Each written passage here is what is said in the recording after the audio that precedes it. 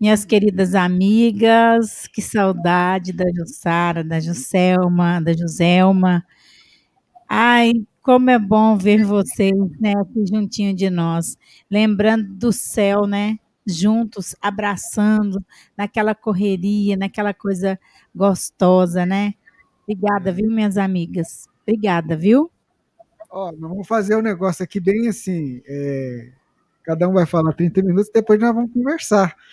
Entendeu? Vamos falar sobre esse tema que é facinho, tá na mão de vocês duas, vai ser facinho da gente aprender, trazer pergunta do pessoal. Então vamos começar. Eu queria que vocês quiserem fazer a saudação inicial de vocês, a gente começa com a Joselma, depois a Jussara fala para a gente, e aí a gente depois vai para pergunta e resposta. Mas eu queria ouvir o oi de cada um de vocês. Selma, vai. Ah, então, é uma alegria muito grande estar aqui com vocês. Divina, Rubens, uma alegria, realmente me lembrei é, com muita alegria daquele momento do ano passado, né, do, do, do céu, foi gostoso, foi muito, foi muito vibrante, né? E uma alegria imensa ver Jussara. Jussara é a mensagem do acolhimento. A primeira vez que eu a vi em, em Nova York, a Jussara me recebeu com o seu grupo como se fôssemos velhas amigas, com muito carinho. E isso são, é, são atitudes que a gente não esquece. Tem um carinho muito grande por Jussara. E abraçar vocês pelos 12 anos de Rádio Fraternidade. Que beleza, que maravilha. João Nunes dizia assim: um minuto de espiritismo no ar significa milhares de mensagens de paz para vários corações. Imagina 12 anos de espiritismo no ar. Que maravilha! Parabéns a vocês, que Deus nos abençoe por essa oportunidade tão grande. Jussara, é isso. Seu, seu Jussara, seu oi aí para a gente também te receber aqui com muito carinho. Ah, tô tão feliz, né?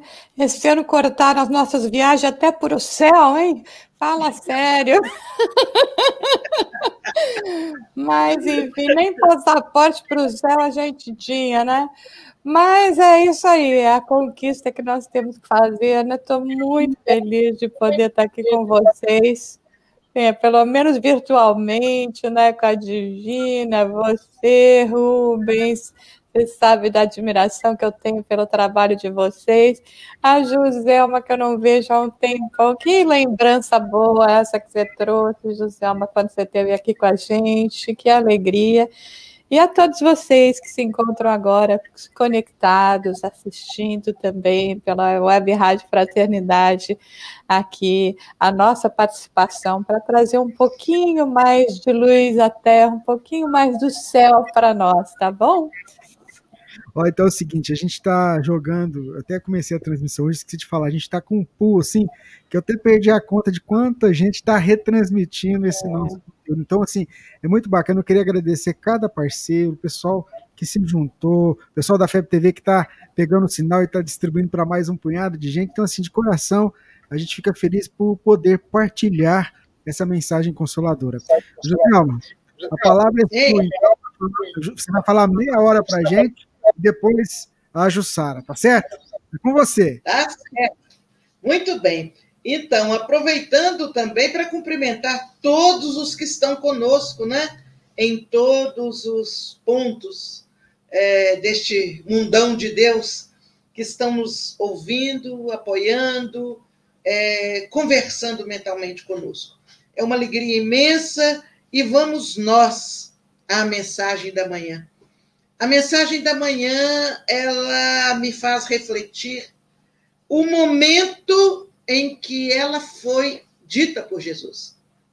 Porque quando Jesus disse que ele nos dava um novo mandamento, que nos amássemos uns aos outros como ele nos amou, é, há duas expressões importantes que eu gostaria de conversar com vocês a respeito desta é, é, afirmativa que está em João, capítulo 13, versículo 34. Primeiro, o momento não era um momento natural, simples. Era um momento de preparo para uma despedida. É, era um momento em que antecipava a ceia no cenáculo, onde, logo após, haveria aquele momento da ação é, equivocada de Judas e, e, em seguida, a prisão de Jesus.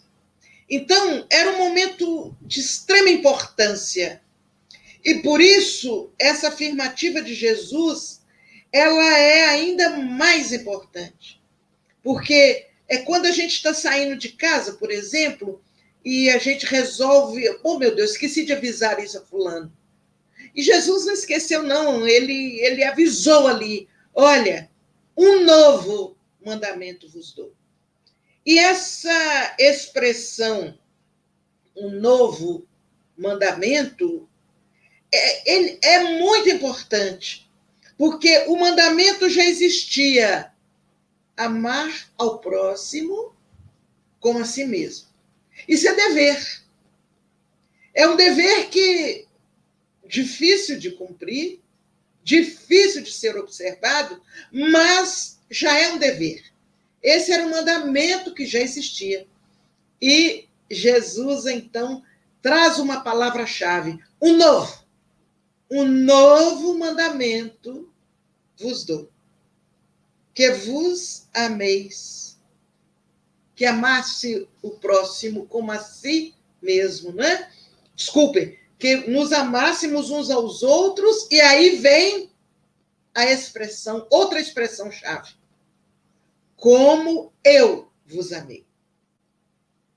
Se não bastasse é, o convite para nos amarmos uns aos outros, que não é simples, é um belo convite desafiador para cada um de nós ele ainda coloca a frase que marca um processo de mudança em nossa alma, como ele, Jesus, nos amou.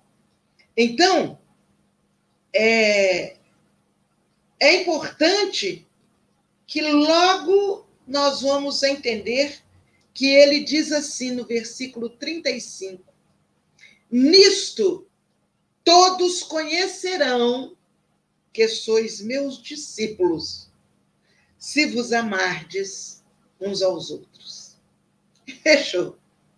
Ele fechou uma orientação de extrema importância para nós outros, seguidores do Mestre Jesus. Para nós outros, que temos a alegria de conhecer a doutrina espírita que nos banha a alma com os esclarecimentos e com o consolo de Jesus. Então, repetindo, que vos ameis uns aos outros como eu vos amei, que vós amais uns aos outros. Então, é uma recomendação de apoio mútuo. Porque se nós conseguirmos fazer isso, se nós superarmos as dificuldades nas nossas relações, nós vamos certamente fortalecer todo um movimento de um, de um conjunto de almas em favor da paz. Esse convite é um convite à superação das individualidades. Um convite à superação dos melindres, das dificuldades. E colocar em mente o objetivo maior, que é a conquista da paz que Jesus trouxe para nós como meta e quando nós olhamos para os lados e olhamos para os nossos companheiros, será que nós já estamos conseguindo amar uns aos outros, como Jesus nos amou? E aí a gente começa a pensar, mas como é que Jesus nos amou? Vamos tentar entender isso. Como é que Jesus nos amou? Então, é, eu trago uma palavra de, do Espírito Emmanuel. Jesus compartilhou conosco a sua obra e a sua vida. Ele compartilhou a sua obra e a sua vida. Se nós conseguirmos compartilhar uns com os outros a nossa obra e a nossa vida, todos nós cresceremos. Mas muitas vezes nós ainda temos medo de que o fulano saiba o que eu estou fazendo, como eu estou fazendo, onde eu consegui a fonte de recursos. E, e nesse medo, nesse zelo, nesse zelo, muitas vezes nós nos afastamos do processo de confiança no outro.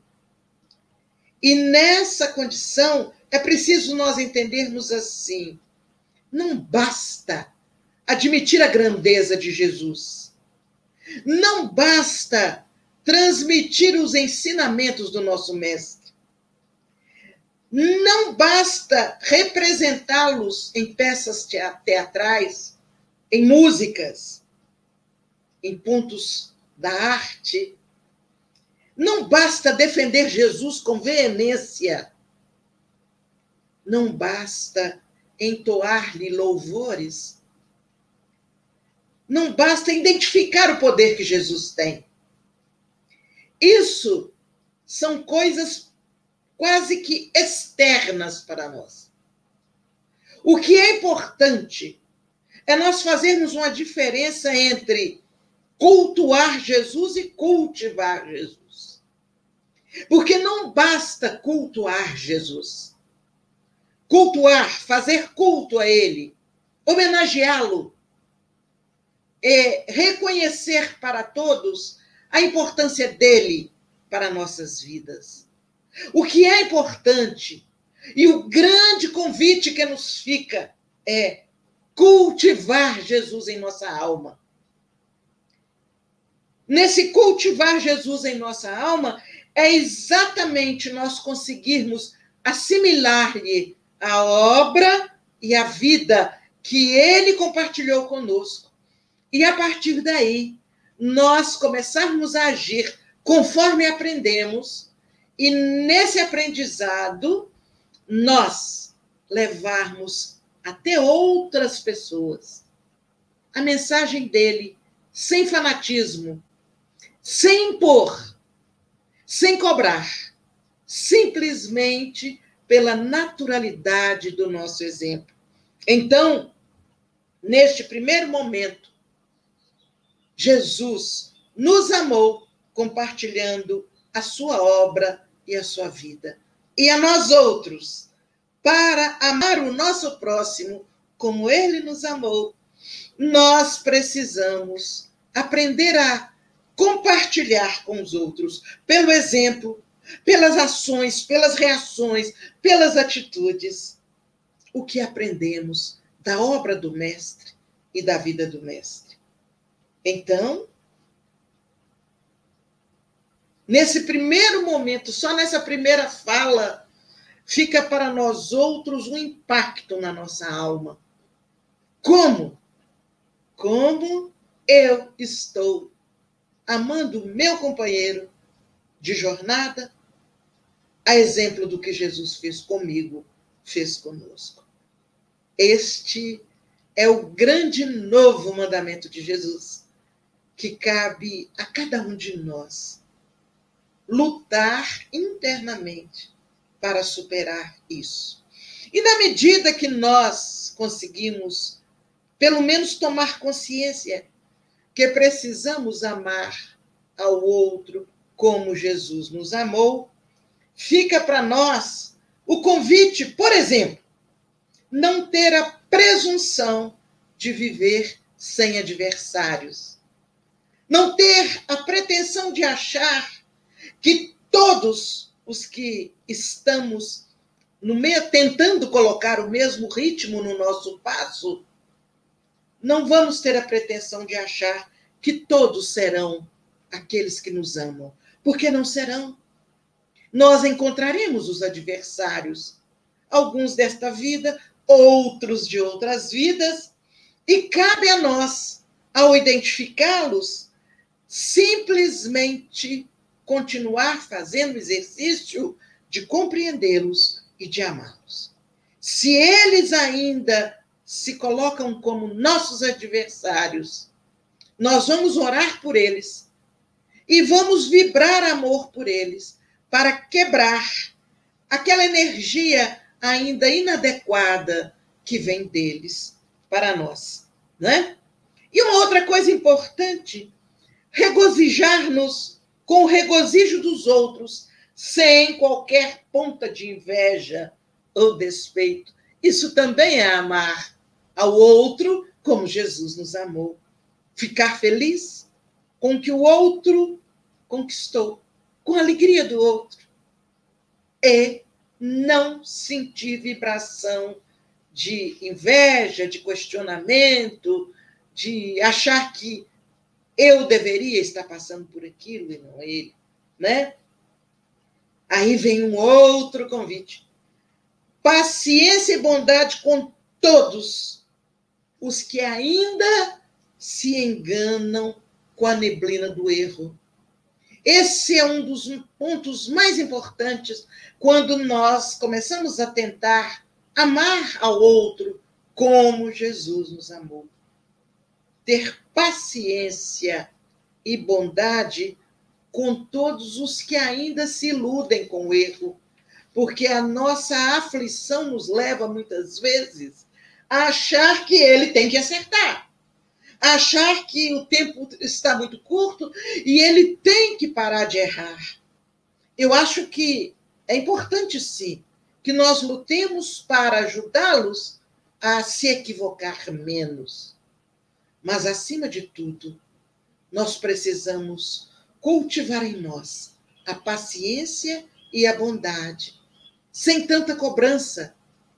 Vamos orar mais, vamos agir mais em favor daquele que ainda se equivoca, sem manifestar a nossa impaciência, sem manifestar a, a, a nossa intolerância pelo fato de ele ainda se demorar no erro.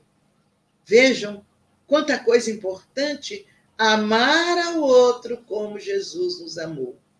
Na verdade, quando eu fiz essas colocações aqui, eu pensava, por exemplo, na atitude de Jesus com Maria de Magdala, na atitude de Jesus com Paulo, que ele foi em pessoa, vamos dizer assim, ajudar, estender a mão para Paulo no momento da sua decisão de, de mudar de rumo. Então, o que eu estou falando, eu estou me baseando nos exemplos de Jesus, não é? A alegria dele ao perceber, por exemplo, a conquista de valores morais de seus amigos, de seus companheiros, da, do grupo que estava mais próximo dele.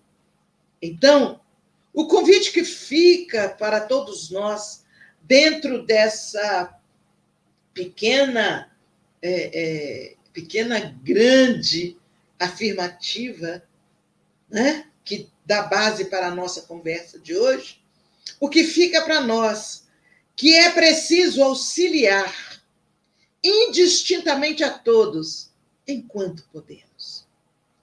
É preciso amparar o quanto possamos. A gente pensa, acho que eu não dou conta mais, não. Dá! Dá! Faz o esforço, que você vai ver como é fácil amparar o outro que está fragilizado. Não só fisicamente. Amparar fisicamente às vezes é fácil. Mas amparar moralmente aquele que está fragilizado. Ter a paciência de dar ao outro o devido tempo de superar essa sua fragilidade, né? Socorrer o quanto possível, indistintamente. Socorrer o quanto possível, em todos os níveis. Também socorrer um que cai fisicamente não é tão complicado, é só dar uns passos mais apressados e estender a mão. Mas socorrer aquele que espiritualmente, moralmente, emocionalmente tem pequenas quedas, aí nós precisamos ser fortes. E é interessante que, se nós pensarmos nisso aqui, auxiliar enquanto podemos, amparar o quanto possamos, socorrer quanto possível. Vocês já pensaram o quanto nós deixaríamos de manifestar nossas críticas, de manifestar nosso enfado com as pessoas que caminham ao mesmo tempo que nós, ao mesmo tempo que eu falo nesta geração? Estejam essas pessoas onde estiverem. Vocês já pensaram se nós conseguíssemos fazer isso que Jesus fez? O quanto nós seríamos mais tolerantes, racionalmente falando. Não é essa tolerância piegas, é uma tolerância equilibrada, com base no conhecimento das leis divinas. Seria muito mais fácil a nossa convivência no nosso dia a dia. Aliviar as pessoas o quanto pudermos é um convite. E esse aliviar as pessoas não precisa ser pessoalmente, porque nem sempre conseguimos mas aliviar as pessoas através da esponja da prece, da vibração de amor em favor do outro, do alívio que oferecemos ao outro à distância, na nossa vibração, no nosso desejo que o outro supere as suas dificuldades. O convite é para que procuremos o bem, seja onde for seja com quem for. Todos nós temos em nós a semente do bem. Procuremos este bem.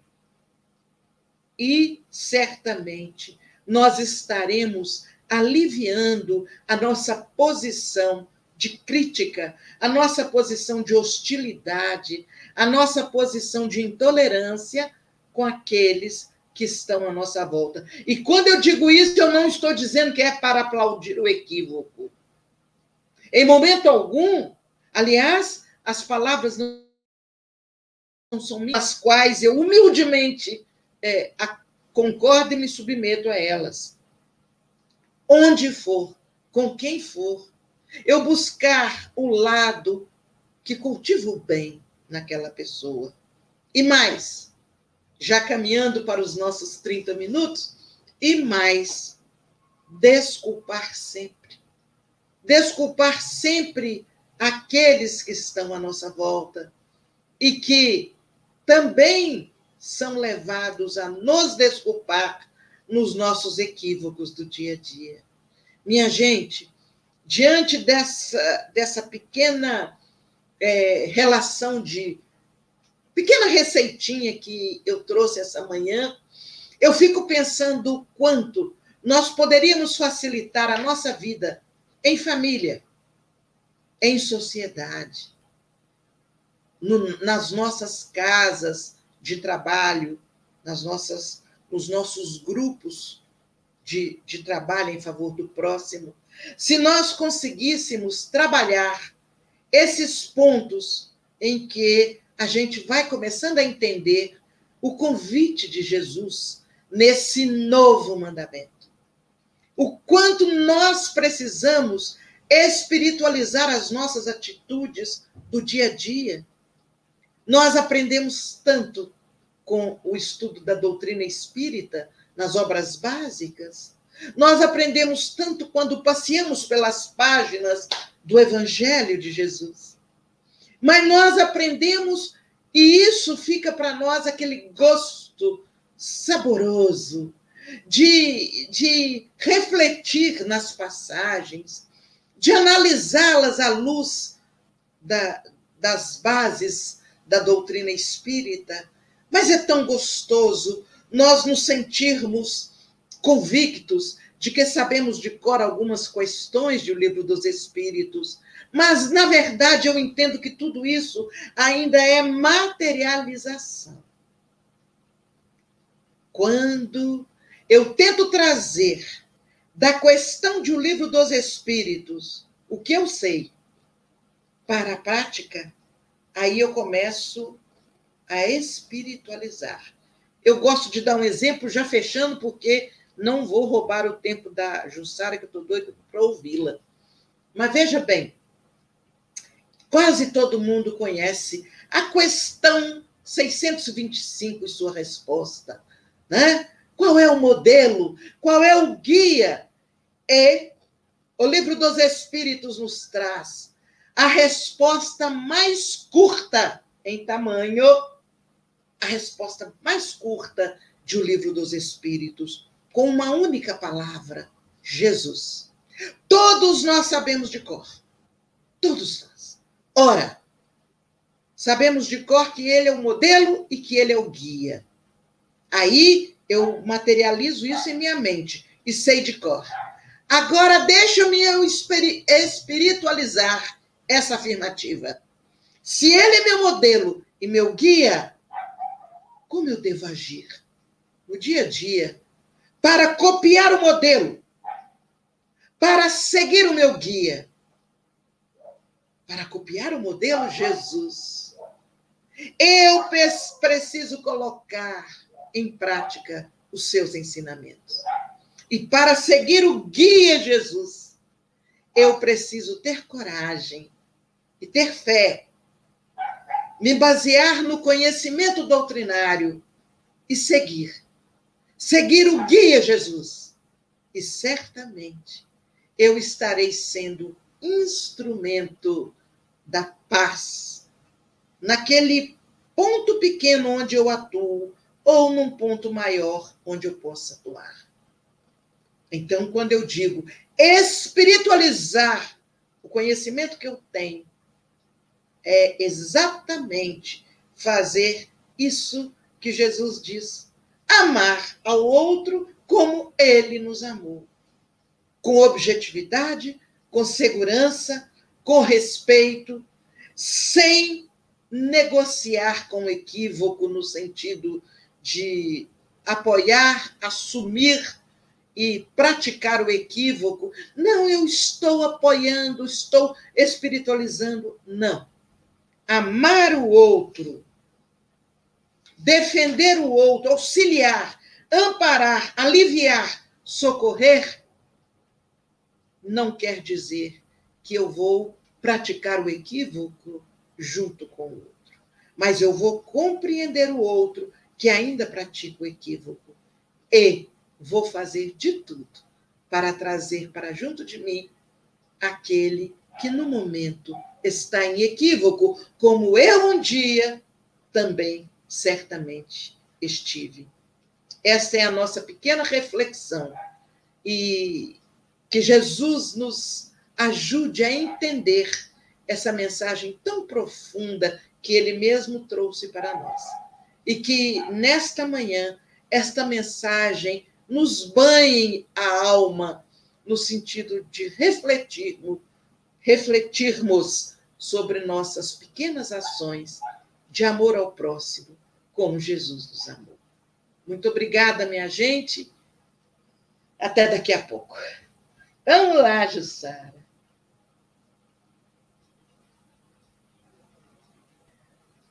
Seu, seu microfone, Jussara, está desligado.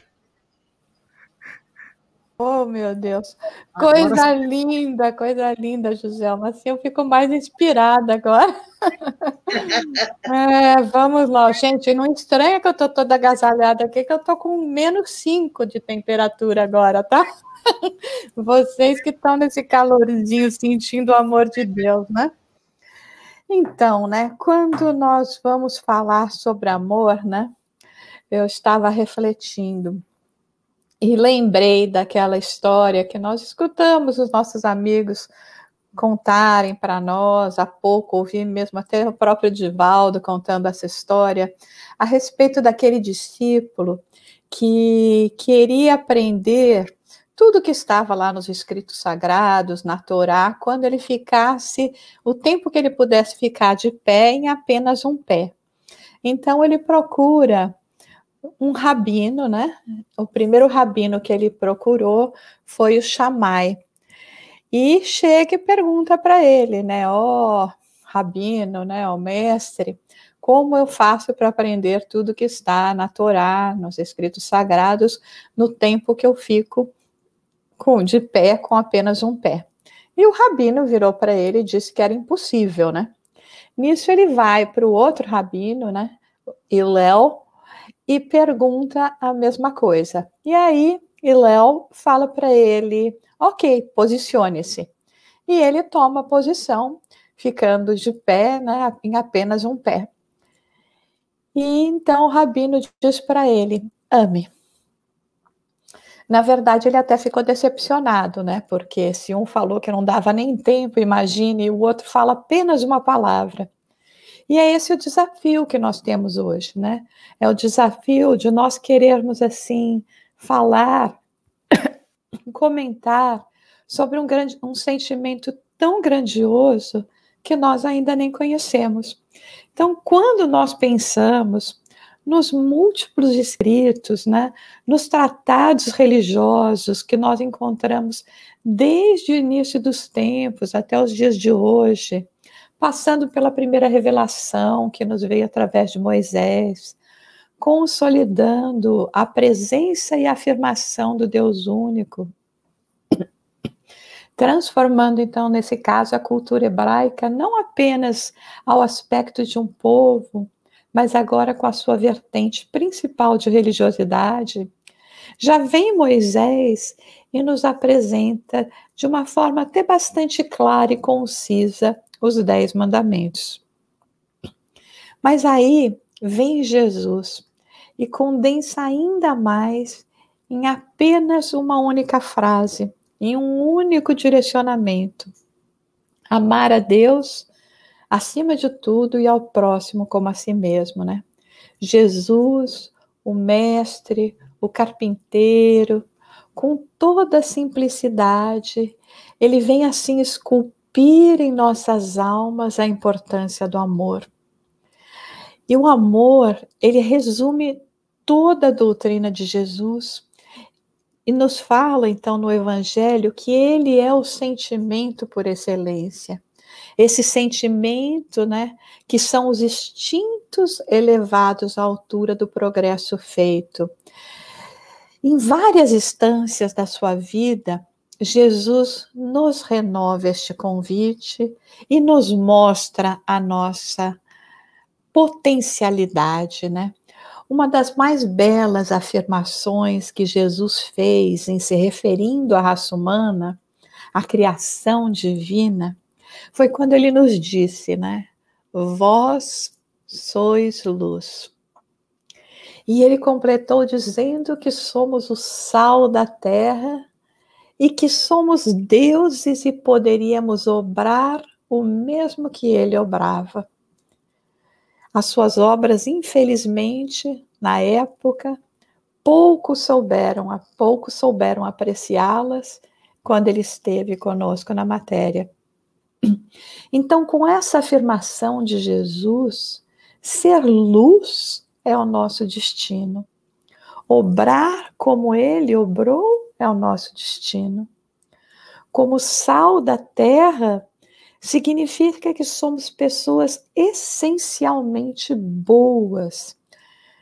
Compreendermos assim que somos nós, né, esses habitantes do planeta azul, aqueles que trazem o tempero especial e que fazem a diferença na história daquilo que seria apenas um corpo celeste mas estéril se estivesse desprovido da criação mais importante de Deus, que é o Espírito. Então, vemos assim que quando Jesus fala que somos o sal da terra, ele se refere a uma pessoa, a um grupo, que seria aquilo que tem de mais nobre, né? E nesse caso, estamos falando a respeito da nobreza da alma. Mas essas potencialidades que Jesus se refere, que tenta até hoje despertar em nós, elas precisam ser trabalhadas. Elas não podem mais ficar abafadas ou mesmo negligenciadas no afã da vida diária, na conquista dos bens ilusórios, que não nos podem garantir uma felicidade né, perene. Mas o que representa nós sermos deuses? Na estreiteza do nosso pensamento, né, especialmente de dois mil anos atrás, mas que ainda prevalece nos dias de hoje, nós encaramos isto, né, ser Deus, como a possibilidade de nós realizarmos prodígios, de conquistarmos mais conforto para a vida material, principalmente nos livrando das lutas diárias que representam o cinzel que esculpem as nossas almas. Mas não é isso. Ser Deus, ser a luz do mundo, o sal da terra, é muito mais do que isso. Representa despertar em nós a possibilidade de mais divina que existe, que é a razão pela qual existimos e razão pela qual Jesus veio ter conosco. Representa essencialmente fazer brotar em nós a divina centelha do amor. Ah, o amor esse nobre sentimento que ainda não compreendemos e que muitas vezes reduzimos às experimentações da carne e aos ainda primitivos anseios da alma. O amor que ainda é egóico, possessivo, carnal. Como compreender o amor do Pai se ainda sequer compreendemos o amor do Cristo? E o que falar dos mártires que seguiam cantando pelas arenas impiedosas da perseguição para enfrentarem a bestialidade dos sentimentos humanos? Quando Jesus pronunciou a divina palavra amor, os povos sobressaltaram-se e os mártires ébrios de esperança desceram ao circo então, quando Jesus nos propõe que nos amemos uns aos outros, eles nos faziam um convite para nos libertarmos do egoísmo e para nos olharmos uns aos outros e, acima de tudo, nos sentirmos verdadeiros irmãos e irmãs, advindos do nosso Pai Celestial. E como já nos disse a querida Joselma, Jesus enfatiza que os seus discípulos seriam conhecidos por muito se amarem.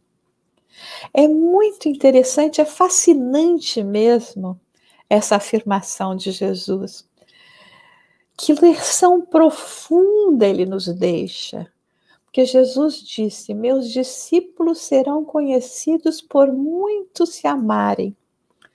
Ele não disse que os seus discípulos seriam conhecidos porque muito o amam. Ele não solicitou o amor para ele, com exclusividade para ele, que era o Mestre, o Messias.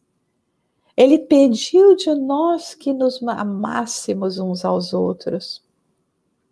E nós vemos nesta afirmação de Jesus, nesta lição, a diferença que existe na maioria dos líderes religiosos do mundo que ainda precisam aprender que o amor dos seguidores não deve ser dirigido a eles numa demonstração de idolatria fria, como a de quando cultivávamos deuses de pedra. Ensina Jesus que o amor devemos, acima de tudo, ao nosso Pai Criador.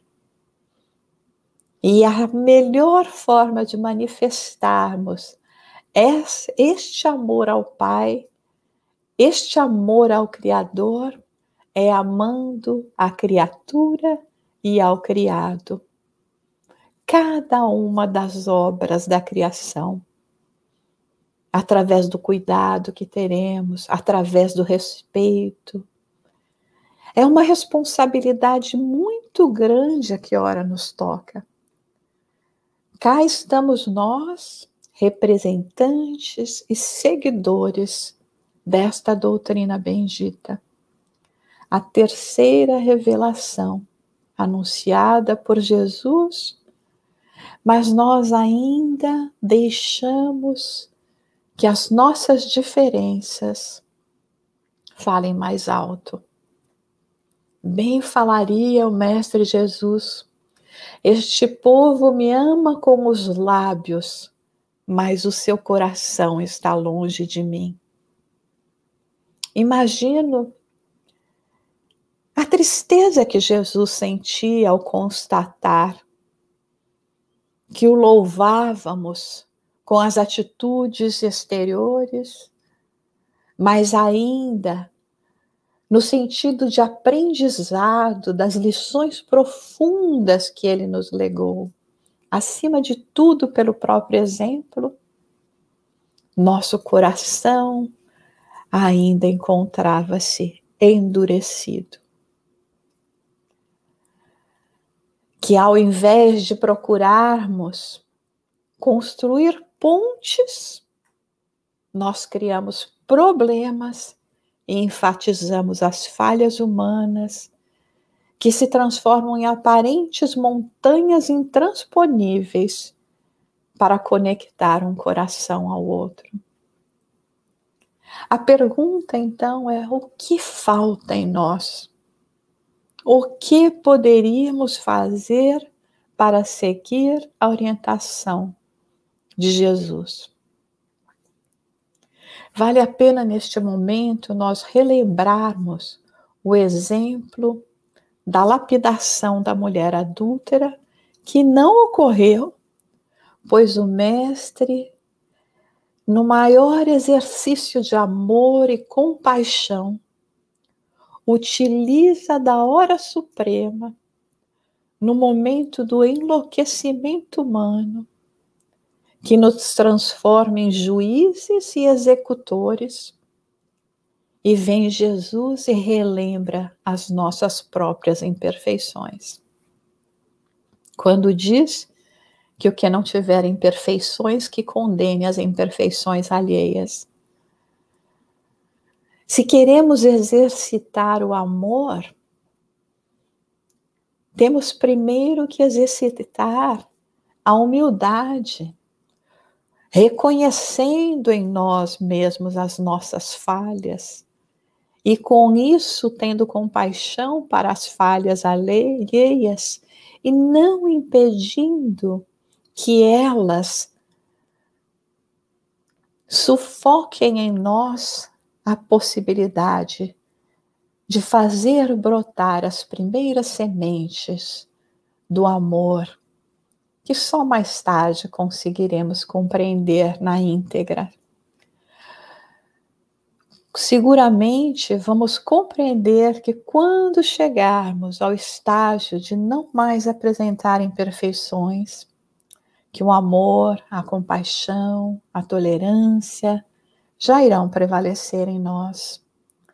E é aí que poderemos obrar como Mestre obrava esse mestre de amor que condenava, que não condenava o que erra, o que errava, mas sim ao erro.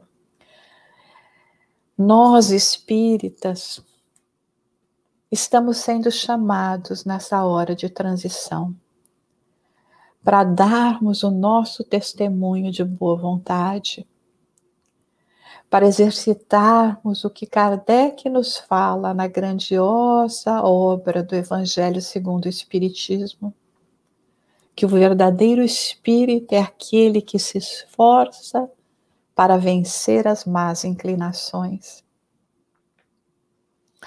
À medida que fizermos isto, mais o sentimento de amor verdadeiro, que ainda não compreendemos na íntegra, irá se instalar em nós.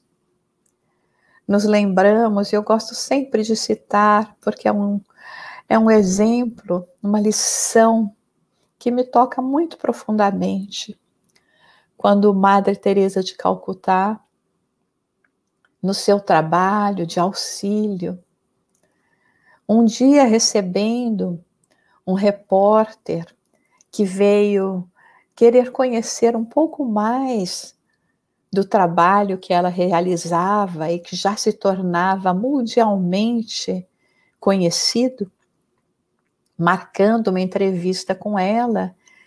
E ela começa a responder com muito amor e caridade, acima de tudo, humildade, as perguntas que ele lhe fazia, quando de repente, tomada por um sentimento, por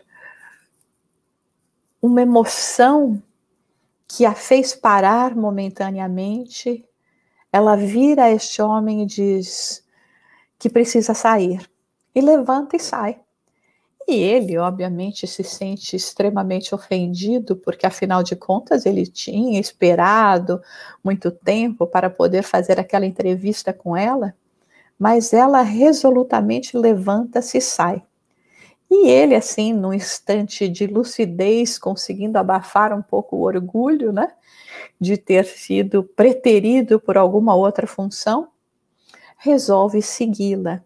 E diz, nos relata este repórter, que ela seguia pelas vielas até que ela chegou no que seria assim um montão de lixo e começa a procurar naquele lixo com as próprias mãos até que ela encontra um homem quase praticamente totalmente desfalecido e ela agacha, se senta e coloca esse homem sobre o seu colo e começa a acariciá-lo. Segundo nos relata o repórter, ele já estava tomado pelas feridas do corpo, com um odor característico. E ele sentiu assim um, uma repulsa com aquela cena, não compreendendo o que Madre Teresa estava fazendo.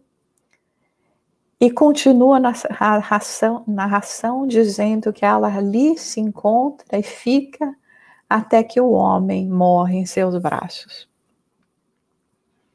É somente então que ela o coloca de volta com muito cuidado, com muito carinho, como que retornando a si e sai daquele local.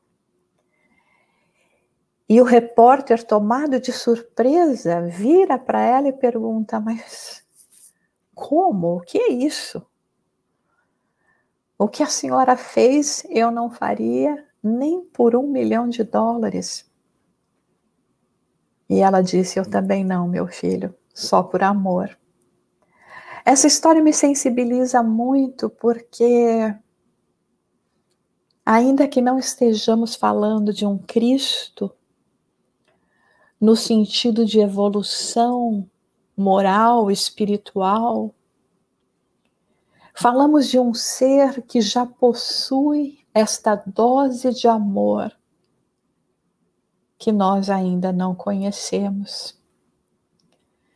Temos que nos lembrar que amar é felicidade, amar é criar, e é pelo amor grandioso do Pai que, ora, nós respiramos e atuamos como almas únicas, individuais, resultado do hálito divino, do amor na sua mais pura expressão. A nossa saudade do Cristo se traduz no vazio interior que sentimos quando, através de nossas próprias ações, nós os afastamos de nós mesmos, perdendo a conexão pura do amor divino de Jesus. Sim, um novo mandamento eu vos dou que vos ameis uns aos outros. O amor que é essência divina e que todos nós, do primeiro ao último, temos no fundo do coração a centelha deste fogo sagrado.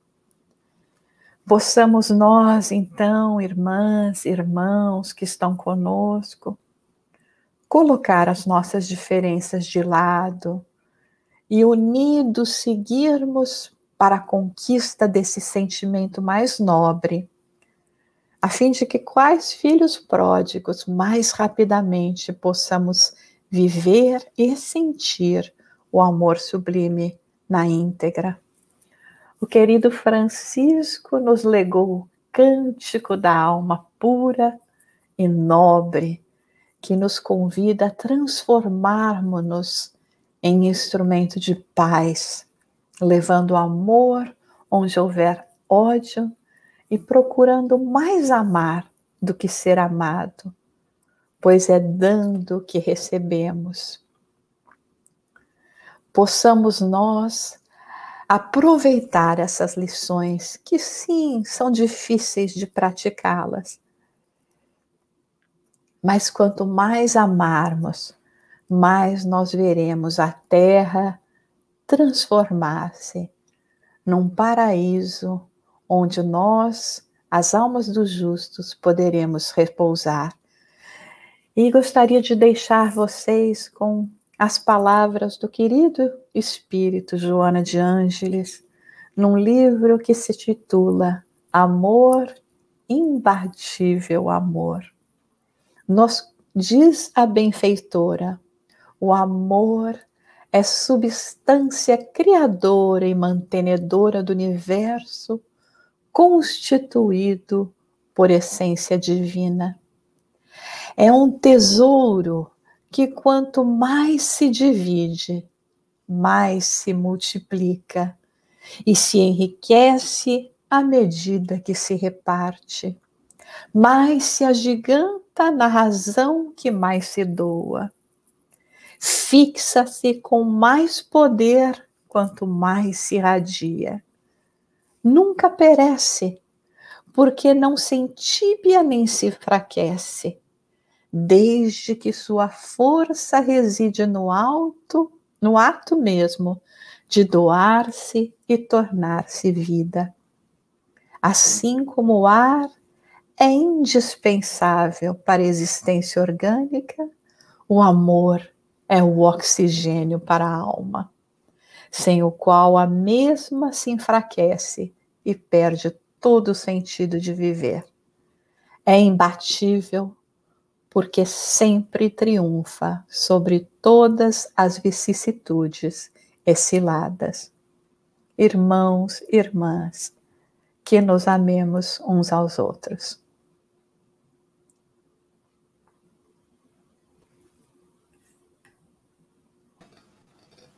tanto botão aqui, viu, Sara, que a gente vai tentando mexer. Quando você, vê, quando você vê, o negócio já vai. Mas a gente vai ficando bom. Obrigado, vocês duas. Acho que tocou os corações de todos nós. Sara, muito lindo. Foi, assim, foi magnífico, lindo, lindo mesmo. Muito lindo, muito lindo. Agora nós vamos aquele momento que o pessoal quer saber, quer tirar as dúvidas. Eu queria pensar, eu estava aqui escutando vocês, pensei o seguinte: nós vamos trazer uma pergunta, vou fazer uma pergunta, a Divina vai fazer uma pergunta. Aí eu pensei assim: a Joselma faz uma pergunta, ou comenta, pede alguma, algum comentário para a Jussara fazer, e a Jussara também pede para a Joselma. Que aí a gente vai aproveitando a participação de todo mundo, vocês também. A, Joselma fala assim: é, Jussara, fala um pouquinho sobre isso. Aí a Jussara fala assim: Joselma, e você, o que, que você acha daquilo outro? E a gente vai fazendo essa essa roda de conversa. Mas vamos começar com a Divina trazendo a primeira pergunta. Gente, está vendo, né? Eu estava aqui com. Fazendo outra coisa, né, Divina? Ê, Divina. Fazendo outra coisa, com outro fone no ouvido, de outro áudio.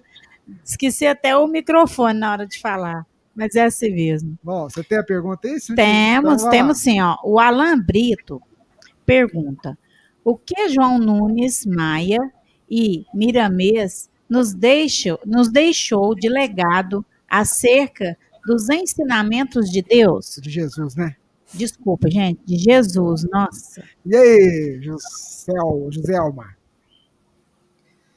Então, uma, um abraço a todos os que estão aí conversando conosco e aproveitando para dizer para a Jussara que foi linda a fala dela, adorei.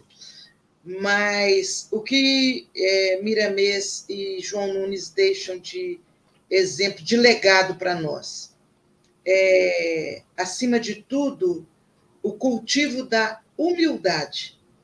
É, João Nunes deixou para gente um exemplo de cultivar a humildade consciente dos conhecimentos que possuía. Aquela humildade natural que nada abalava a sua convicção. E Miramês nos, nos deixa o legado de cultivar Jesus o dia a dia, a partir do estudo, a partir do conhecimento e da prática. Eu entendo que este é o legado que a gente tenta assimilar e aprender.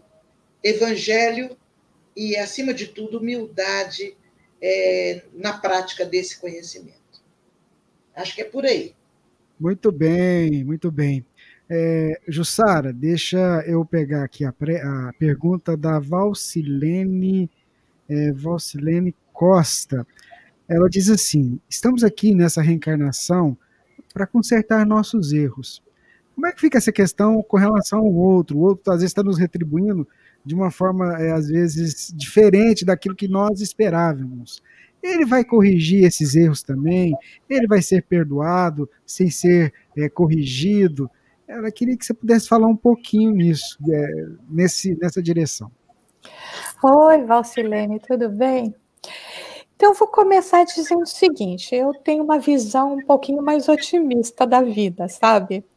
Eu não me vejo aqui que eu estou aqui não para corrigir meus erros. Eu vejo que eu estou aqui para aprender, para crescer. E como consequência, obviamente, né, reajustar e, e aí, como você diz, corrigir os errinhos aí que a gente andou fazendo pelo passado, né? Mas essencialmente é um processo de aprendizado. E é um processo que é único, né? Ele é, ele, ele é individual e requer muito da nossa atenção, da nossa energia, principalmente para nós que, que conhecemos, né, que compreendemos agora que o que significa essa oportunidade de vida e que o que significa justamente para que a gente não, não perca o nosso tempo como a gente já perdeu tanto. Então, por exemplo, na minha concepção, sem exatamente qualificar isso como uma atitude egoísta, eu estou muito preocupada com o que eu estou fazendo, com o que eu estou aprendendo, como eu estou me colocando no mundo. Eu não tenho muito tempo para ficar analisando parado para ver se o outro está fazendo a lição de casa dele, não. Porque cada um de nós temos as nossas vamos dizer assim, as nossas contas a prestar, mas a nossa cota de aprendizado, né? Então, eu acho que se nós estivermos, assim, um pouco mais concentrados, né, uh, naquilo que nós temos que adquirir, e até lembrando, né, daquela frase tão linda de Francisco de Assis que diz que a gente devia pregar, saia e pregue o evangelho e use palavras se necessário. A melhor forma que nós temos para impactar na vida do próximo também, o motivar, né, incentivar para que ele siga um outro caminho, ou esse caminho que nós estamos seguindo, é através do nosso exemplo. Então, dessa forma, eu diria: vamos nos concentrar mais, vamos nos preocupar mais com aquilo que nós estamos fazendo e mesmo quando isso se refere àqueles mais próximos, à nossa família próxima, que normalmente assim é onde nós encontramos muitas frustrações, que gostaríamos que eles estivessem no mesmo, né, no mesmo ritmo, nesse mesmo interesse que nós ora nos encontramos. Uh, então nessas horas é que é mais difícil a gente, eu sei, a gente ficar parado, mas nos lembrar então que a lei é de progresso todos nós vamos progredir. Cada um de nós temos o nosso próprio ritmo, mas a melhor contribuição que a gente pode fazer para fomentar o progresso do próximo vai ser através das nossas próprias ações, da felicidade e paz interior que vão se refletir em nós e que as pessoas vão querer para elas também. Então, faz mais o teu trabalho e ore para que os irmãos possam também se motivar a realizar o trabalho deles. Não sei se a Joselma queria comentar alguma coisa a mais a respeito disso. Olha, você, você respondeu de uma maneira tão completa que fica para a gente o um incentivo a todas as vezes que uh, o outro é, se colocar como um, um, um agressor ou um credor nosso, que nós possamos primeiro ter a humildade de analisar se a gente precisa corrigir alguma coisa, não é? Porque a gente se equivoca mesmo. Mas, acima de tudo, nós temos que ter um, um, um, uma disciplina de trabalhar em nós a correção e a melhora, como você colocou, né? E vai caber ao outro observar a nossa mudança. Pode ser que ele nem acredite que nossa mudança é verdadeira, não tem importância. Vamos seguindo. Um dia ele vai ter a chance de ver que vale a pena superar as dificuldades passageiras e caminhar e progredir, aproveitar o tempo, né? Não só consertando a nós mesmos, mas criando oportunidades para que outros também cresçam junto conosco. Eu acho que é por aí a nossa reflexão, né? Muito bem, então vamos lá. A Divina está com a pergunta aqui, vamos ver da nossa internauta, Divina. Vitória Almeida. Jussara, todos somos centelhas divinas, centelhas divinas. Jesus nos ensinou que devemos brilhar nossa luz e que somos sal da terra. Mas tenho visto as pessoas, mesmo espíritas, abafadas em conflitos íntimos de culpa, medo, egoísmo, se entregam aos problemas e se deprimem, vimitizam, vitimizam, né? Entram no processo de baixa autoestima como despertar ou resgatar em nós essa luz divina, acreditar nela, romper esses processos de sentimentos viciosos? Qual o nome dela mesmo, Divina? É Vitória Almeida. Vitória, excelente pergunta, Vitória. De difícil resposta. Porque o que acontece, Vitória, é que nós estamos todos na hora do grande testemunho. E está sendo difícil para todo mundo. Nós estamos querendo dar mais conta, fazer mais do que realmente temos a capacidade. E como é hora do grande testemunho, e a nossa fé ainda fraqueja, e nós ainda necessitamos de exemplos e de fenômenos mais concretos para nos impactarem. Quando chegam as dificuldades, como ora enfrentamos de maneira geral em nosso planeta, aí nós fraquejamos.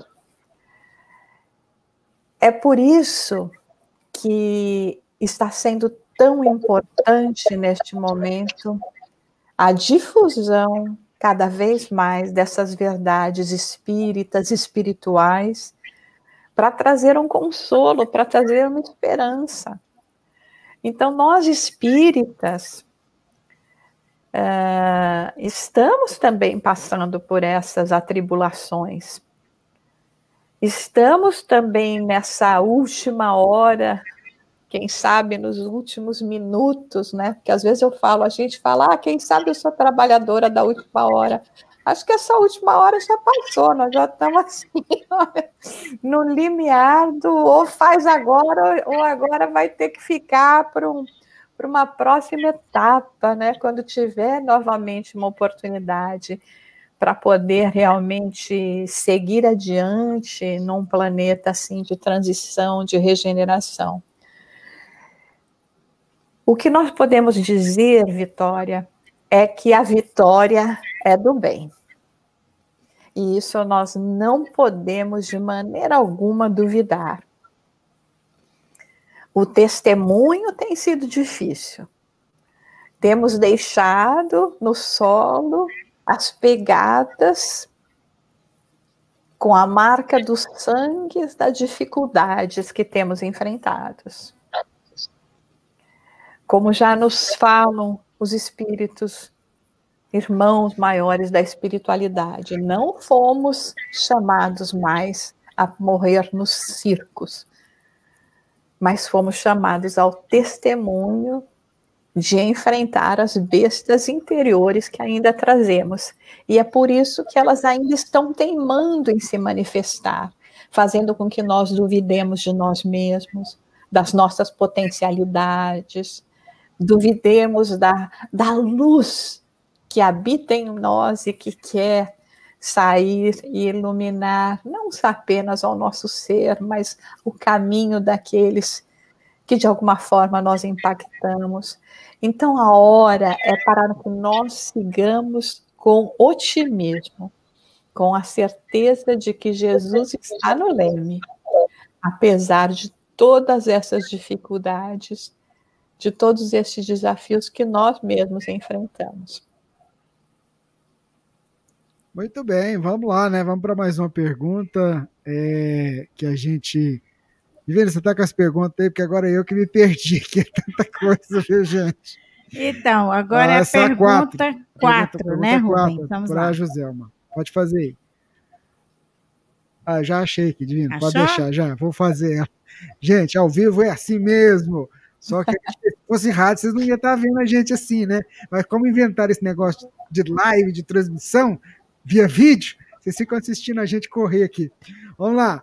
É, Joselma, é, a Paula, a Paula Beatriz o Helder, aí de Florestal, pertinho de você aí em Belo Horizonte, perguntando, ó. Você falou do ensino, amar ao próximo como Jesus nos amou. E na máxima, amar ao próximo como a ti mesmo. Podemos dizer que ainda não temos aprendido a nos amar muitas vezes se desdobrando ao outro em detrimento da própria saúde mental e, e até da saúde física, qual seria, é, perguntam os nossos amigos, um bom caminho para trabalhar do eu ao nós? Vejo pessoas dando uma pausa e se fechando. Queria que você comentasse sobre isso. É, as perguntas estão muito profundas. Eu quero mandar é, meu abraço a Paula e o Elber, eles deveriam ter feito essa pergunta cantando. É Por quê? Porque os dois, é, os dois cantam e cantam muito bem. E quando no, nos nossos eventos eles participam, eles nos ajudam a entrar numa faixa de, muito, de uma vibração muito boa com as músicas. Então eles deviam ter feito essa pergunta cantando. Mas veja bem, é, quando nós, no dia a dia, estamos falando em amar ao próximo, é, só consegue amar ao próximo dentro daqueles exemplos que nós trouxemos do Evangelho de Jesus, aquele que já consegue ter certeza de alguns princípios importantes. Por exemplo, que somos filhos de Deus que nunca estamos sós e que Jesus é verdadeiramente o nosso guia. Isso nos dá uma segurança interna que nos leva a olhar ao nosso redor. E quando nós olhamos ao nosso redor, desde o mineral que é, se coloca à nossa frente, por exemplo, uma pedra, é, passando pelo vegetal e pelo ser humano, todos passam a merecer o nosso olhar de respeito e de gratidão a Deus por estarmos é, é, inteiros, é, conscientes num momento como o atual. Como a Jussara colocou muito bem, o momento é muito difícil. É, são muitas as dores que nos chegam de todas as formas, mas entre a oportunidade de curtir o sofrimento e, do outro lado, a gratidão a Deus pelo que também está acontecendo de bom, se nós tivermos essa condição de observar o bem que também se faz ao nosso redor, em meio a tanta dor, nós vamos perceber que é, é, esse prato da balança que contém o bem que Deus derrama sobre nós é muito maior do que aquele outro onde nós cultivamos as dores. É importante, sim, que nós saiamos de nós é, para o outro, né?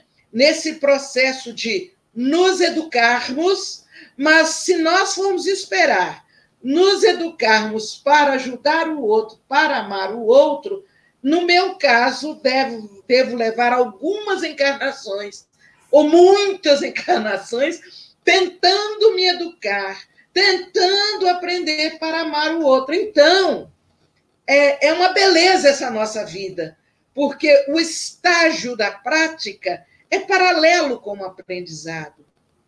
Eu estou falando aqui neste momento para vocês em amar ao outro como Jesus nos amou, e eu tenho o convite, por exemplo, para amar o cachorro do vizinho que está latindo de uma maneira tão intensa que eu fico assim, meu Deus, o povo não deve, estar tá ouvindo mais o latido do cachorro do que o que eu estou falando. Eu não tenho, eu pensando comigo, eu vou ter que arrumar alguma coisa nessa acústica da minha sala para que o cachorro não perturbe. Olha a oportunidade de amar o cachorro, sabe? Porque senão eu vou ficar, vou daqui sair, vou brigar, vou reclamar, e com isso eu perco a chance de continuar amando cada um de vocês, amando a mim mesma, sendo grata a Deus por tudo que Ele tem nos oferecido. Sabe? Este momento da pandemia tem sido para mim incrível. Do mesmo momento em que eu sofro como tantos outros, pelas por aqueles amores que partem, por aqueles que estão sofrendo, eu vejo do outro lado a oportunidade abençoada de trabalho e de reflexão em favor da paz, não só refletir, tá bom, já ajuda, mas trabalhar também em favor da paz. É isso aí, amigo. O, o Jussara, você quer comentar alguma coisa? Enquanto, se você quiser comentar, Juscelma, pensa numa perguntinha ou alguma coisa para a Jussara é, falar agora mesmo. Quer comentar um pouquinho tá. também? Na verdade, eu ia fazer uma brincadeirinha que quando eu lembro que vocês me convidaram e aí me falaram que eu ia trabalhar com a Juselma, eu falei, Ei, que legal, vai ser a Ju e a Ju trabalhando junto. É isso mesmo. a dobradinha da Ju e da Ju. É, não, eu acho que sabe, a Joselma falou tudo aí pra gente, porque é, é aquela coisa, né? Essa hora de, de, do testemunho tá difícil, né? Porque são nessas coisas pequenas também que nós estamos sendo testados, né? Ah, e, e, e, o que eu tenho percebido é que a gente anda muito mais sensível, né? Tá todo mundo com a com os nervos à flor da pele, porque uh, não só pelos enfrentamentos que nós mesmos temos vivido, mas pelo que nós estamos vendo ao nosso redor, né? O sentimento de perda, né? Então, por exemplo, quando hoje, através do Espiritismo, nós compreendemos mais como porque sabe, quando Jesus chega e fala, pensa que vocês são irmãos e irmãs em humanidade a gente ainda fica pensando do aspecto, do ponto de vista físico. Não entendemos o alcance de Jesus, que quer nos dizer que não simplesmente pelo fato de sermos filhos do mesmo Criador nós estamos conectados, mas nós estamos conectados energeticamente. Então, quando alguém está sofrendo do outro lado do mundo, enviando esse sofrimento né, essa onda de sofrimento, de dor, como ora se espalha em nosso planeta, com já milhões de mortes que nós tivemos pelo Covid, como é que a gente não fica abalado? É impossível. É o momento em que vem, até como a Vitória estava seguindo, se dizendo, que parece que está que, que é como se vem uma onda de maior angústia, de maior tristeza, porque nós estamos sentindo energeticamente a dor do próximo, a dor da insegurança, né? Mas nós estamos neste momento focando simplesmente na dor, sem nos lembrarmos do amor do Pai, porque tudo tem uma razão. Nós compreendemos que o Pai é soberanamente bom e justo. E se estamos passando por estes momentos, né, por esta, vamos dizer assim, essa intervenção cirúrgica, é porque é o momento que está sendo retirado um mal de nós, o momento em que estamos sendo convidados a essas novas nossas reflexões, né? Então é só nós nos lembrarmos disso e quando vier esse momento de tristeza, falar essa tristeza deve estar vindo porque tem um coração triste aqui por perto. Deixa eu lembrar desse coração triste, mandar a minha prece, mandar a minha emissão de amor, e palavras de conforto e de sustentação. Então, eu acho que assim, se a gente fizer isso um pelos outros, aí nós vamos mudar tudo. Nem, nem latir de cachorro mais vai incomodar, porque nós vamos estar assim, naquela, naquela energia de luz e de paz, que deixa lá o bichinho fazer, né? Dizer, ó, oh, estou aqui também, sou criação divina. Ô, ô, pensa aí uma pergunta para a Jussara, ou algum comentário para ela fazer É, eu é, estou realmente muito feliz de estar com a Jussara. É, eu, eu, eu sinto uma afinidade muito grande, a maneira dela ser, a maneira dela trabalhar. E por falar em trabalho, eu gostaria de falar em trabalho, Jussara, nessa área aí de amar ao outro como Jesus nos amou. É, durante muito tempo, nós, espíritas, entendemos que o trabalho é a grande ferramenta que nos leva a um amor maior. E isso nos levou à prática, é, a trabalho de todas as formas na área da assistência. E, e como nesse exemplo que você trouxe de Teresa de Calcutá, de lá socorrer o necessitado e tal. E, de repente, a pandemia nos prendeu, né? Como disse você, nem passagem para o céu a gente está tendo. então, imagina você, é, o trabalho parece que ficou mais difícil, será? Nesse momento, esse trabalho que renova, que estimula, ou tem outras formas de trabalhar? O que é que você pode falar para todos nós? Olha, você sabe, assim, né? Da minha experiência, eu vou falar da, da, daqui, ainda mais agora que a gente só fica em quatro paredes mesmo. Né?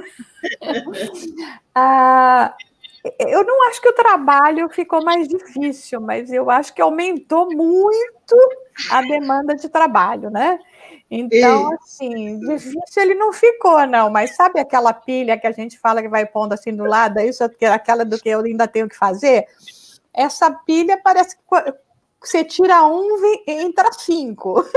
Aí você tira é. cinco, entra cinquenta. Então, o que eu, o que eu tô vendo é uma demanda muito grande, né?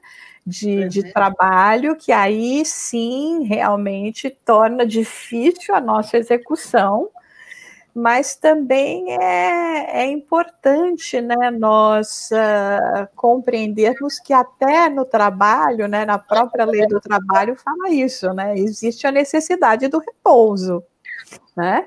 Então, nós também, eu sempre fui muito partidária da qualidade versus quantidade. Não adianta a gente estar tá aí aparecendo toda hora, cada hora na, na, em live, falando a mesma coisa ou falando bobagem, né? A gente tem que estar tá preparado, se, né? Porque a gente quer passar uma mensagem de qualidade, né? A gente quer realmente poder trazer um conteúdo e uma energia, porque também quando a gente vem assim super cansado, você nem consegue passar uma energia muito boa, né? Eu sempre gostei mais das energias dos palestrantes do que das palavras deles, de uma certa forma, porque a energia sempre me tocava muito mais, né? E a gente sente isso. E hoje que a gente não tem esse contato, é muito importante, ainda mais importante, né? Então, olha, eu acho que assim, né? Tem trabalho que a gente não está dando conta de fazer, né? Mas é, é seguir, né? E, e, e ao mesmo tempo, né? Ju, a gente fica assim, olha, eu falo, bendito Deus que me andou esse tanto de trabalho, porque eu até que sou caseira, né? Mas a gente, se eu tivesse que ficar aqui já mais de um ano trancada aqui dentro de casa sem trabalho, acho que eu já estava doidinha também, né? Então é isso, gente. É bom, é uma bênção e, e que ótimo que nós né, é, estamos expandindo, né? Isso que o Rubens e a Divina já estão fazendo há mais de década, né? que é, 12 anos. Que exatamente, que é levar né, essa mensagem, essa mensagem de esclarecimento, de otimismo, de vida, né? Para todos os cantos, porque agora, agora não tem desculpa não para a turma falar, ah, não consigo, não vejo, agora o que está duro é que nem aquela brincadeirinha que tem que falar, né? Porque a pessoa está com medo até de abrir a geladeira, porque é capaz de ter uma live lá dentro também. A gente é. agora mesmo tem lá, realmente, viu? Coloca uma tela lá, tem live lá. É, não é? Essa geladeira inteligente que estão falando agora, né? Uh, enquanto você pensa uma pergunta, você vai pensando a pergunta para a Joselma falar. Eu queria, é, tudo que você está falando, é, a gente percebe como é que a espiritualidade trabalha. Porque para a gente fazer, formatar esse evento, eu fico assim, eu faço uma conexão com Deus e eles vão mandando o recado, né? E aí o recado veio, veio fielmente. Joselma, Jussara e o tema. E aí, ouvindo vocês falarem dessa afinidade, a gente percebe assim, como é que eles, do lado de lá, trabalham. Porque a gente, eu costumo dizer que a gente é apenas um instrumento para que isso que a gente está fazendo agora se concretize.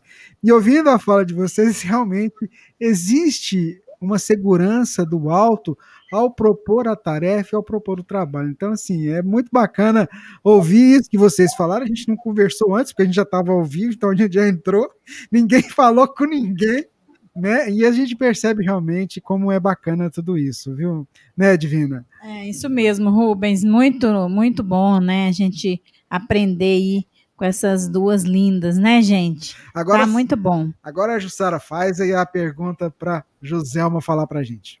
Mas, gente, eu vou contar um segredinho, posso? Pode contar, pode. Vamos ver se a Ju lembra disso.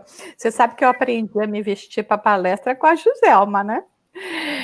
É, quando ela veio aqui nos Estados Unidos, ela me falou: Ju, você sabe que a melhor forma para a gente, quando fazer palestra e para se apresentar bem, é sempre colocar uma blusa bonita. Mas você lembra que você gostava de, de ter aquelas blusas? Aí eu falei: Ah, meu Deus, você sabe que isso pegou comigo, viu, José? Eu sempre fico lembrando, ah, não, essa aqui é uma blusa bonita para poder apresentar, para poder vir para as lives. Aprendi com a Joselma, viu? Olha só, coisa linda. Mas, Joselma, eu estava pensando aí no trabalho de vocês, todo esse trabalho lindo de caridade que vocês fazem, né? Como é que está sendo se, se, né, um trabalho de amor que eu tive a, a honra de visitar. E como é que vocês estão fazendo? Contar um pouquinho para a gente agora nessa, nessa época, como é que estão sendo os desafios aí, as dificuldades das famílias, as crianças? Pois é, eu fiquei aqui pensando na blusa bonita. eu fiquei aqui pensando na blusa bonita, e é muito interessante porque é, a gente às vezes não imagina que o outro que nos assiste ele, ele carece de um bem-estar ao nos ver. E isso também é caridade. Não é o luxo, não é a esnobação de, um, de uma etiqueta, é, nada disso, mas é a harmonia da apresentação. Né? É, e, uma coisa que hoje, a hora que eu te vi, falei, nossa, Jussara tá tão bonita, e eu não imaginava que você fosse colocar isso. Exatamente porque quando a gente, a gente se prepara, a gente pensar que o outro que vai nos assistir, que vai nos ouvir, merece um olhar, um, um, uma presença agradável diante dele. Né? Isso é muito importante. Agora, nosso, nosso trabalho nosso trabalho continua, porque é, observando todo o protocolo legal. É, a fome não para com a pandemia. E nós temos famílias que assistimos que não sabiam nem preencher o documento para fazer jus a, a, ao socorro do governo federal. Então, nós tivemos que fazer desde pôr uma bancazinha lá para ajudar, é, com, com, um computador, para ajudar as pessoas a preencherem é, é, o, o documento necessário para se inscreverem, como também socorrer da melhor forma possível aqueles que estão na nossa região. Temos é, o, que, o que tem me impressionado, começa daí, o número de enxovais de bebê que nós temos que oferecer. Mas aumentou uma quantidade das mães, aquelas criaturas jovens, 13 anos, 14 anos, nos procurarem buscando a ajuda de um enxoval de bebê. E aí eu falo com o pessoal que produz, pelo amor de Deus, não se esqueçam que os espíritos que vão reencarnar e que vão usar essa roupa, eles vão receber o primeiro abraço, o primeiro passe através da energia boa que vocês colocarem nessas roupas. Essas crianças vão compor a próxima geração. E eles precisam estar envolvidos em vibrações de carinho, de amor, de gratidão. Começa daí.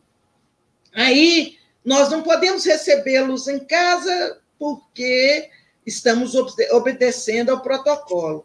Então, os trabalhadores da área é, é, de assistência, eles vão até as famílias. Eles vão nos seus carros com quatro, cinco cestas cada um, e eles se dividem para não haver aglomeração, e eles levam até as casas é, o produto do que nós ganhamos durante a semana.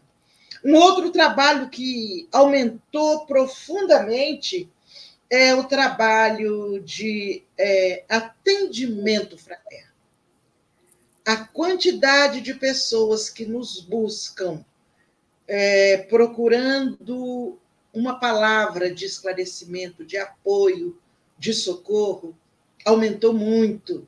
E é exatamente isso que, quando você falava no trabalho que aumentou, aumentou para todos. Basta ter olhos de ver. Então, as pessoas nos buscam através de uma palavra, né? De uma orientação, e são muitos os trabalhadores agora que estão se dedicando dentro de um bom senso, dentro de um conhecimento da doutrina e de uma experiência de vida, eles foram é, indicados para atender aqueles que nos buscam é, para receber ajuda. E por aí vai. Né? É, nós, na verdade, não paramos um só dia mas obedecemos integralmente às orientações. Nós temos visto assim o zelo dos dirigentes municipais de Belo Horizonte, o zelo tem sido muito grande. Então, temos encontrado momentos de, de fechamento, né, de interrupção, e nós obedecemos, porque nós não podemos ser instrumentos do mau exemplo e nem de desrespeito à lei, não há motivos para isso. Né? Mas o trabalho prossegue, é, e, na verdade, eu estou com uma saudade dos jardins da nossa casa, mas uma saudade, sabe? De poder sentar naqueles bancos e conversar com as pessoas, como eu gosto de fazer. Estou com muita saudade disso. De vez em quando eu vou lá, dou uma corrida de olhos, né? E volto. Mas espero que em breve a gente possa voltar e poder prosseguir, né? É por aí. Ô, ô Giselma, é, é fala o site da entidade que você representa, porque tem muita gente que às vezes não conhece, né? Até para depois o pessoal acessar, conhecer esse trabalho lindo aí. tá, é, é, é o Maria Nunes, Maria Nunes, arroba, né? www Maria Nunes, uma palavra só, é, arroba. Ah, entra é, lá, Maria, entra lá no entra site. Lá, vai achar, vai achar. Isso. E estamos no Facebook também, tá? Hum. Com, a, com o mesmo nome. Muito é... bem, Divina. Próxima pergunta para Jussara, né, Divina? Jussara, e essa veio, veio lá da Itália, a Cláudia que fez. Como aliviar o coração da dor intensa pelos equívocos cometidos e que não podem mais ser reparados? Ai, Cláudia, a primeira, primeira frase que veio na minha cabeça quando eu escutei a pergunta foi a frase do Chico, né? Que a gente não pode mudar o nosso passado, mas nós estamos agora podendo construir o nosso futuro. Então, isso é uma, é uma pergunta muito importante, essa, Cláudia, aí, que eu acho que muitos de nós sofremos deste mesmo mal, né? nós temos essa tendência de que no momento em que nós começamos a despertar para essas verdades, né, as verdades espirituais, compreender mais o nosso papel aqui na matéria, e nós começamos a, a ter um pouquinho mais de conhecimento, de entendimento, e aí a gente olha para aquilo que a gente é, é, é, dá um impacto, né? dá um impacto. É aquela vê como se a gente fosse olhar no espelho e ver o verdadeiro eu e não e não tá não tá legal, né? E não tá mesmo, sabe? Porque na verdade assim a gente está ainda, né, num, num estágio é, pouco avançado da nossa evolução, mas estamos caminhando a passo firme para poder melhorar. Então, o, o, esse, esse momento em que a gente se encontra, eu costumo dizer, talvez aquela coisa, né? A gente sempre puxa a brasa para a nossa sardinha, mas na minha interpretação, que deve ser um dos momentos mais difíceis, que é justamente esse momento de transição. Quando eu olho o que eu sou e não gosto, tá feio, eu já vejo o que eu quero ser, mas não consigo. Né? Eu já vejo aquela luz que eu quero me transformar, mas eu não sou aquilo ainda. E eu tenho que fazer esse caminho né, do ser velho para o ser novo. Agora, o que mais pode nos atrapalhar nessa jornada é nós nos quedarmos no sentimento de culpa. A tomada de consciência daquilo que fizemos que não era bom é extremamente importante, mas como tomada de consciência para eu poder verificar e dizer, mas isso não é um bom comportamento, não é mais assim que eu quero ser. Mas aí, uma vez que você toma essa consciência, que você sabe, né, realiza isso, todo o nosso enfoque né, deve ser no sentido de mudar, de, de, dar o passo adiante e não mais de ficar se lamentando. Veja que nós comentamos essa lição tão linda de Jesus dos trabalhadores da última hora, né? Aqui, né, Cláudia, não é uma questão de quanto tempo eu estou sendo boa, mas é se eu aprendi a lição ou não. Se eu fui para a escola e aprender a ler e escrever em um dia, e meu coleguinha do lado levar um ano, no final daquele ano, ele sabe escrever, eu também sei, já não faz nem diferença mais se eu aprendi em um dia e se ele levou 365 dias para aprender. O que importa é a lição aprendida. Não é o tempo que, que, né, que demorou. Então, como trabalhador de última hora, neste momento, muitas vezes a gente fica se lamentando, ai, mas tomou tanto tempo, ai, se eu soubesse disso, eu já estou com idade, isso e aquilo de novo, é uma questão de qualidade, não de quantidade. Então, não se demore na culpa destrutiva, mas aproveite a reflexão para que ela sirva de, de alavanca para o seu despertamento, para um novo comportamento no bem. Mas olha, é um processo que todos nós passamos. Mesmo que seja naquela coisa pequena, que tipo assim, né? Que nem a Joselma deu aí, o, o, o, abriu a alma para a gente para falar, e nesse momento estava lá pensando, esse cachorro, né? Então, são coisinhas que a gente fala, puxa, podia ter tido um pouquinho mais de paciência, de calma, né? Mas tem hora que não dá, a gente também, né? Mas tudo bem, todo dia é um dia novo de aprendizado, toda manhã é uma manhã que a gente tem para exercitar. Então, nessas pequenas coisinhas, assim, no, o exercício diário a gente vai conseguir, mas não fica na culpa, não, porque a culpa só no, nos destrói e nos impede de caminharmos de maneira mais proativa para nossa própria. para fazer essa luz despertar. Ai, Joselma, mas não fica assim não, porque eu e o Rubens também somos testados aqui. Olha, você vê, a gente mora na esquina, se você vê as montanhas de lixo que o pessoal amontou aqui na porta e bem na entrada da garagem. Aí, de vez em quando, a gente dá esses ímpetos mesmo. Sabe? Não é fácil. É esse momento que a gente vivencia que é o complicado, né? A gente sabe da lição, né? É, tem no nosso coração, entendeu, mas quando a gente vai colocar em prática que a gente tem muita dificuldade ainda. Mas como a, vocês falaram, né? Na prática do amor, a gente amando, amando, amando, isso vai deixar de nos incomodar. E ainda, né, preocupado com, com tantas dificuldades, é, o nosso irmão, o Gustavo, lá de Tuiutaba, fez a seguinte pergunta: não, não, é 18, 18 desculpa. É, 18.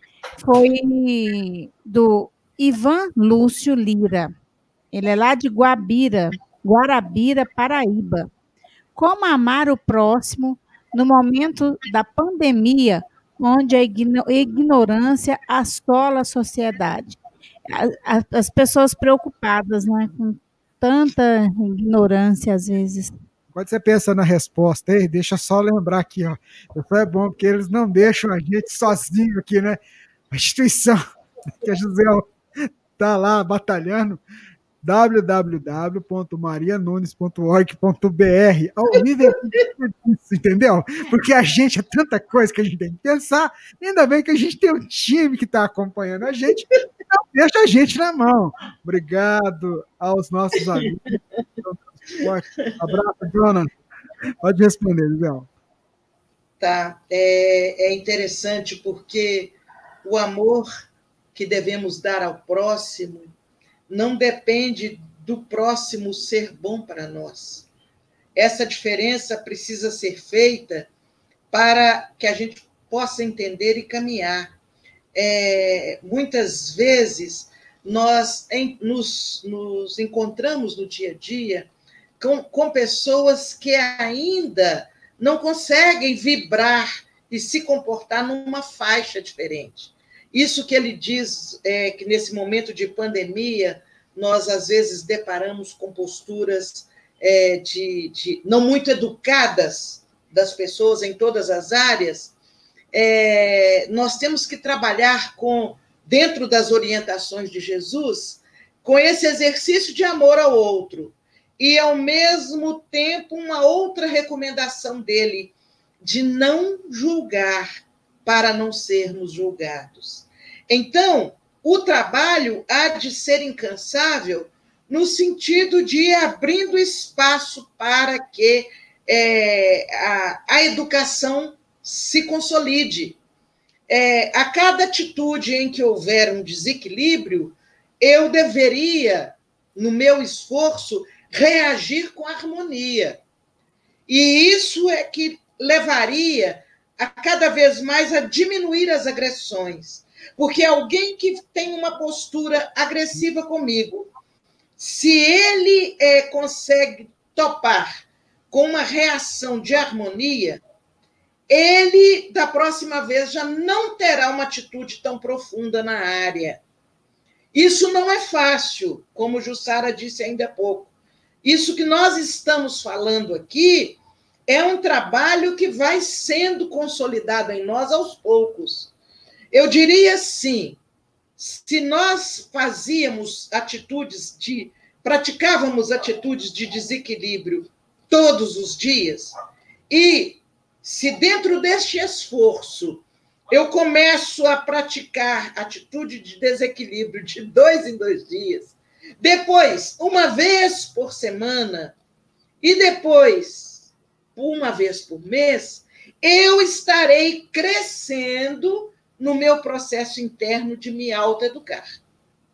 E, na medida que eu me autoeduco, é, as pessoas à minha volta também vão, pelo menos comigo, sabendo que a minha reação não será naquele padrão vibratório, elas já não vão gastar suas energias mais numa postura de agressividade comigo.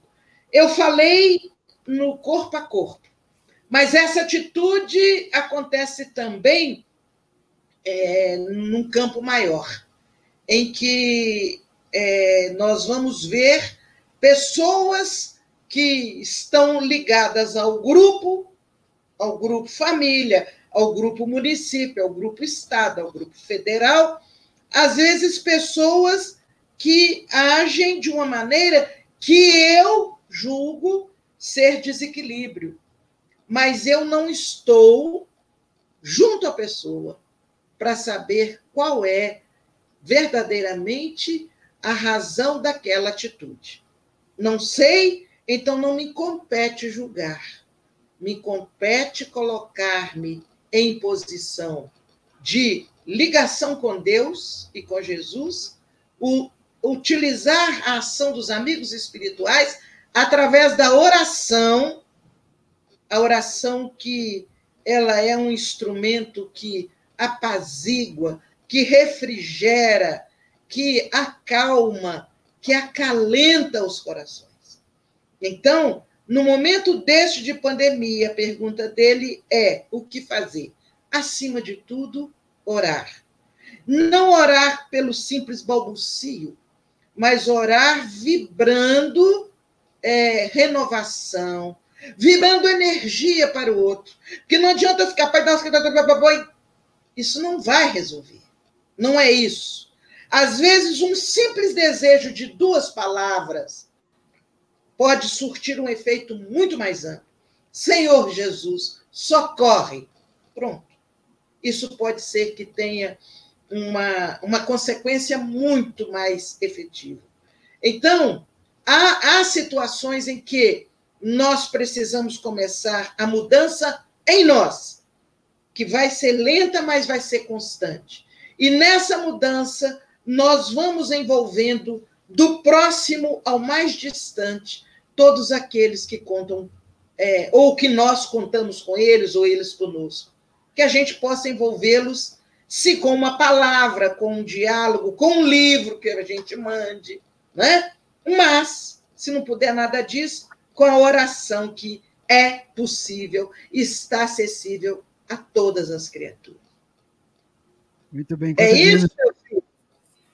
É isso mesmo. Quando a Divina está preparando a pergunta ali, tem uma para a Jussara, tem uma, pergu tem uma pessoa perguntando um negócio aqui para você, Juscelma. Ela quer saber se você fez parte da Mocidade Espírita O Precursor. Ela chama. Ela, a Marlene perguntando. Ah, Marlene, você sabe que diz que inveja não deveria existir, né?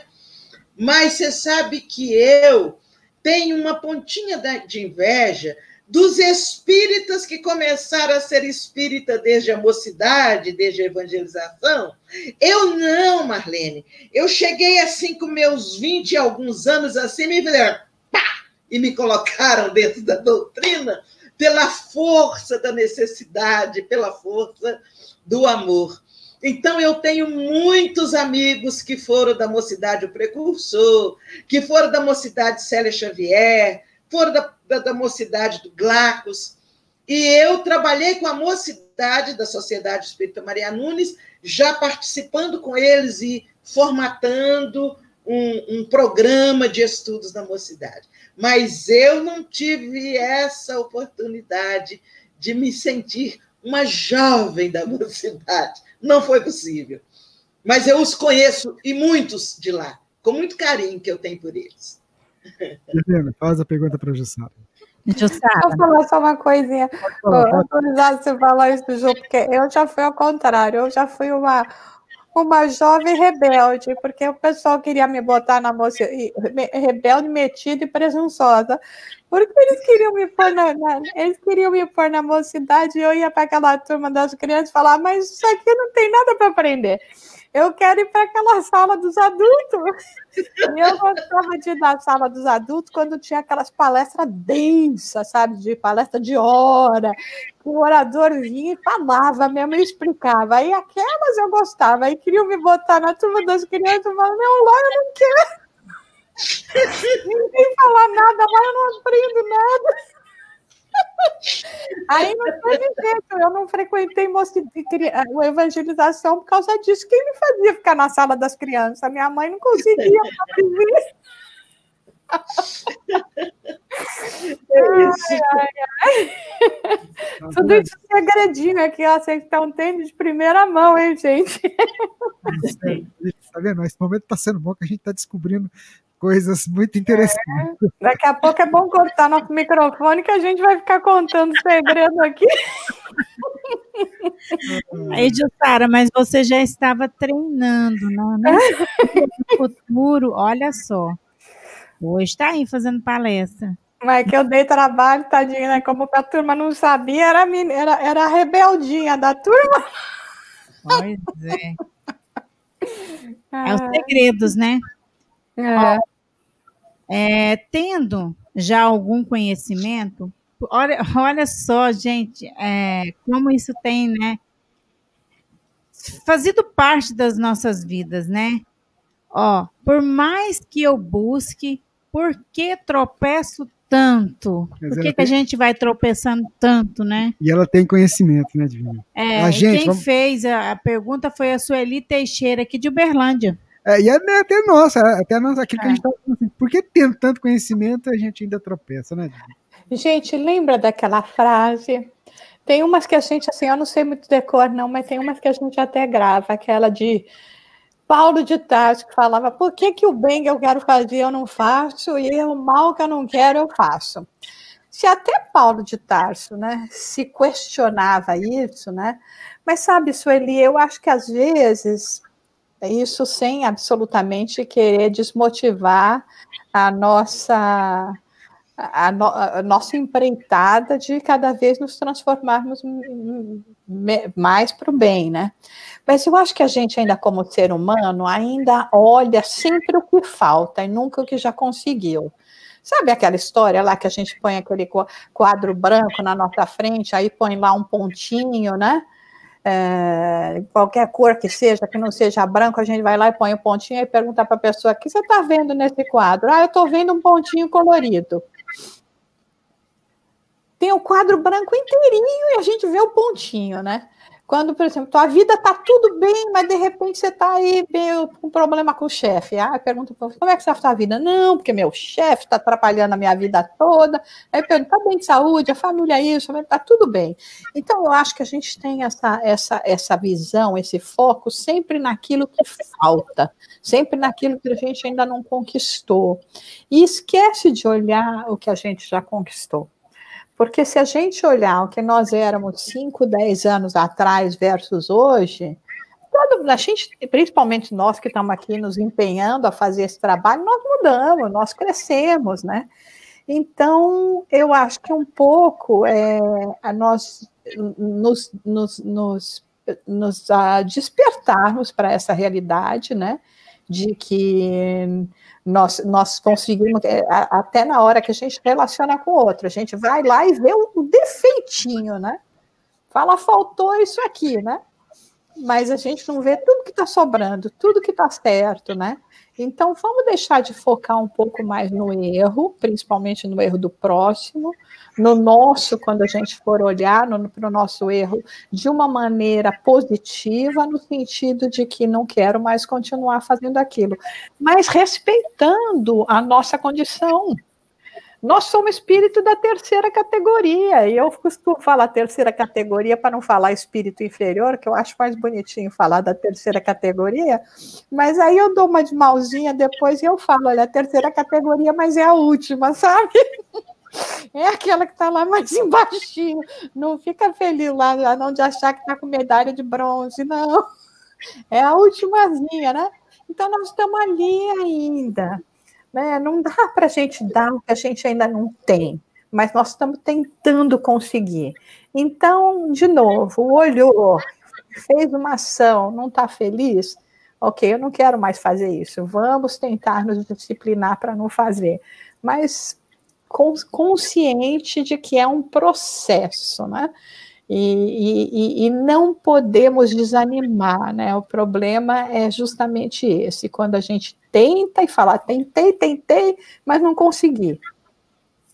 Se não houver disciplina, se não houver persistência, né? E entendimento que é lá que eu quero chegar, ah, eu vou cair 10 mil vezes, mas eu vou levantar 10 mil e uma porque eu vou continuar seguindo nesse caminho. Então, vamos lá, firme e forte.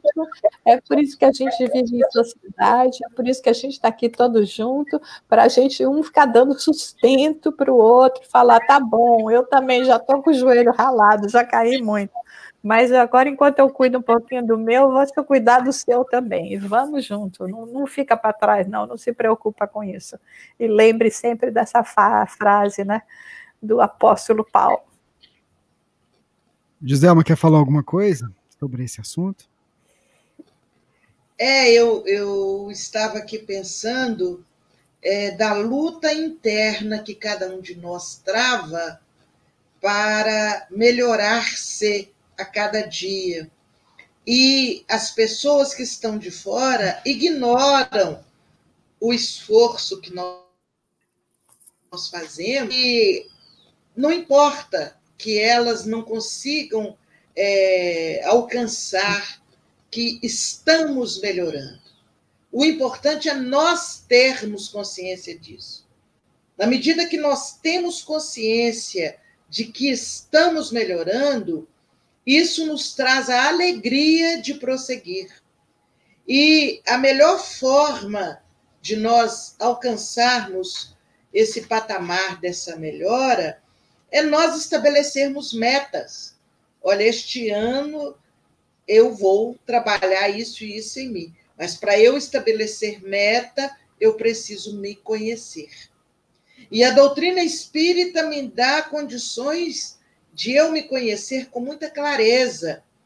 Quando ela aborda, por exemplo, no Evangelho segundo o Espiritismo, o, o, o bem-aventurados os aflitos, a causa das aflições, ali começa a abrir para nós um, um leque das causas das dificuldades que eu tenho hoje. Não precisa eu saber exatamente o que eu fiz, mas eu aprendo ali que para eu estar passando por aquilo, tem uma causa, tem uma origem e, pelo meu temperamento, eu começo a, a desconfiar do que, que poderia ter sido. E dentro desse, desse estudo, dessa reflexão que nós vamos fazendo em relação a nós próprios, nesse autoconhecimento que a gente vai buscando, nós conseguimos trabalhar essa melhoria. Tá certo? Então, é, fica para todos nós o convite a não desanimar com os equívocos que já cometemos e aqueles que ainda por distração cometemos. Eles estão ficando cada vez mais raros e vamos chegar num ponto em que vamos trabalhar outros equívocos, porque aqueles já já estão mais ou menos dominados por nós. Então nós não temos que almejar a perfeição de uma só vez. Essa perfeição, ela será fruto de muitos processos reencarnatórios. Mas nós temos que lutar pela melhoria que vai se dando pouco a pouco e, e a gente vai trabalhando em favor de nós próprios e do outro. Bom, a gente está chegando ao final, sabe, gente? Então, assim, tá tão gostoso. Mas a gente nem vê o tempo passar, viu? Muito bacana. E a gente tem feito assim com os nossos amigos que tem falado aqui, é, pedir para no finalzinho de cada, de cada momento nosso que vocês pudessem direcionar uma fala assim sucinta, bem resumida assim, que tocasse, que falasse fundo ao coração de quem está nos assistindo, quem está nos ouvindo, sobre esse tema que foi abordado. Então eu vou começar com a Jussara para ela olhar assim diretamente para quem está nos assistindo, quem está nos ouvindo, e dissesse: Um novo mandamento vos dou, que vos ameis uns aos outros, assim como eu vos amei. E sintetizasse e falasse para quem estiver te acompanhando agora, Jussara.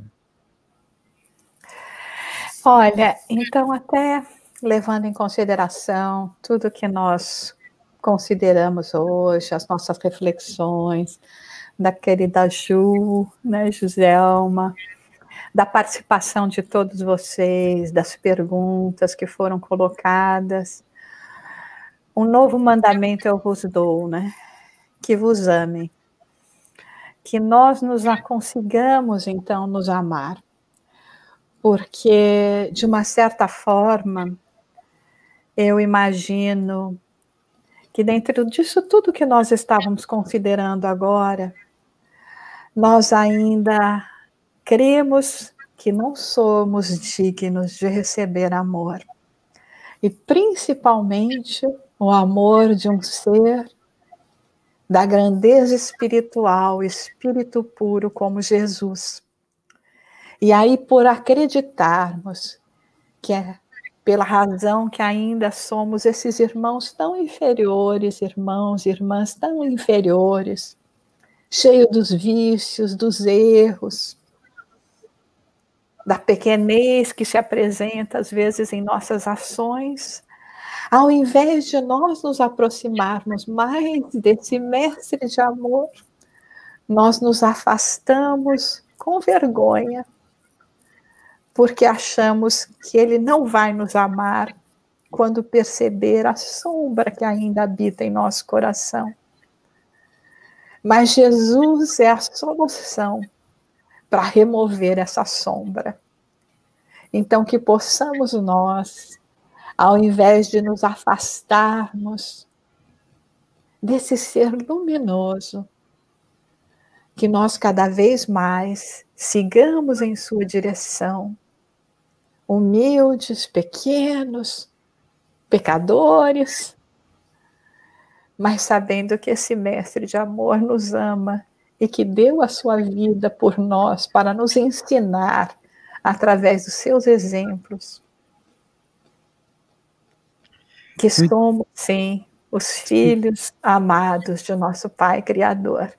Então, a todos vocês eu deixo meu amor, irmãos e irmãs de humanidade, e que cada vez mais possamos conseguir chegar mais pertinho de nosso Mestre e sentir esse amor da Sua presença em nossas vidas.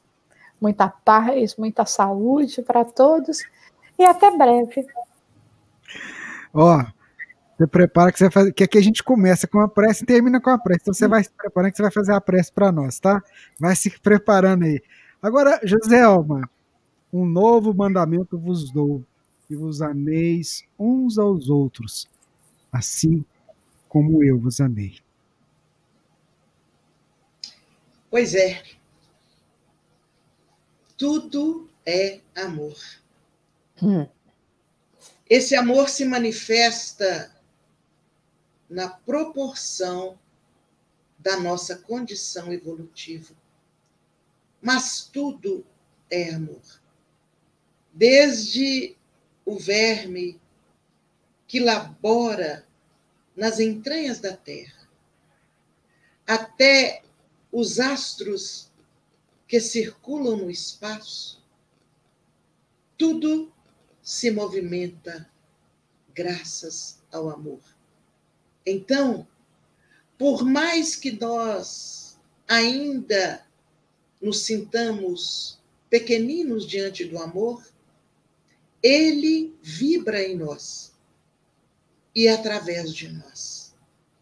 Então, fica para todos nós o convite a deixar que este amor, que muitas vezes está em nossa alma ainda abrigado pela nossa timidez, timidez de amar, que nós possamos irradiar essa vibração de amor em favor de todos aqueles que vibram em torno de nós, que agem em torno de nós. Comecemos a olhar, como eu disse aqui, os minerais, as plantas, os animais.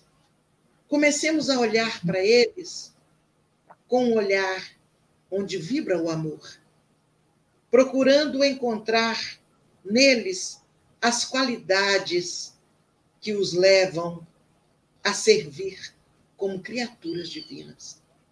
E assim, nós estaremos conseguindo ampliar as nossas condições de amar, até chegar nesse ponto tão natural de amar uns aos outros como Jesus nos amou. Esse sentimento, ele vibra em nós. E ele é tão natural que o que bloqueia ainda é a nossa inibição, ainda é a nossa timidez a nossa ignorância da importância do amor. Comecemos a valorizá-lo, comecemos a sentir o quanto ele vibra e nos faz feliz. E isso fará com que possa ir expandindo e se tornando verdadeiramente, através de nós, o elemento que consolida a base na Terra eu agradeço a cada um que esteve conosco, a cada um que vibrou em torno do que aqui falamos. Agradeço a fraternidade, a Rádio Fraternidade, com seus 12 anos. Agradeço a todos os que multiplicaram a nossa voz, embora pequenina, embora sejamos tão pequeninos, mas multiplicar a nossa voz para tantos corações. Que Deus, nosso Pai, possa nos manter envolvidos em Suas bênçãos e que Jesus, o nosso Mestre querido, continue sendo o nosso guia, iluminando o nosso caminho. Um abraço a todos vocês, um abraço a, a, ao Rubens, a Divina e a Jussara. Deus nos abençoe, muita paz. Muito obrigado, gente. Olha só, nós vamos fazer algo assim que eu não, não treinei, Caju, Sara. Nós vamos fazer aqui de alguém. Você vai ouvir uma música de fundo. Quando você vê que ela baixou, aí você começa a prece, tá? Tá bom. vamos ver aqui se a gente consegue fazer isso. É, é o nosso. É que a gente, eu gosto de inventar em cima da hora o negócio aqui. Ah, ótimo. Vamos colocar uma imagem, eu vou colocar a música de fundo e aí depois a gente coloca você no vídeo. Vamos lá. É ao tá vivo aqui.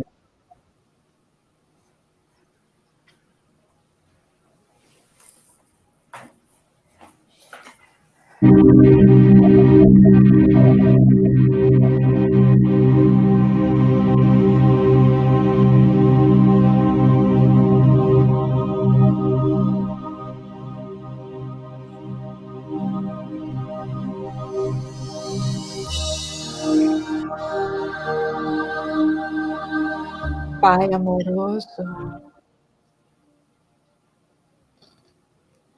aqui nos reunimos,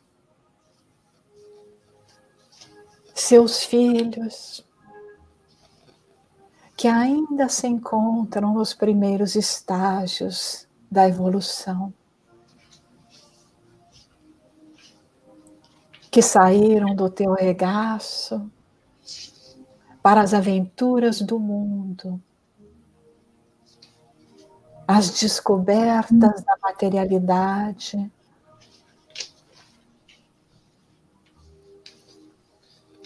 Deslumbrados pelas conquistas, ainda de títulos ilusórios,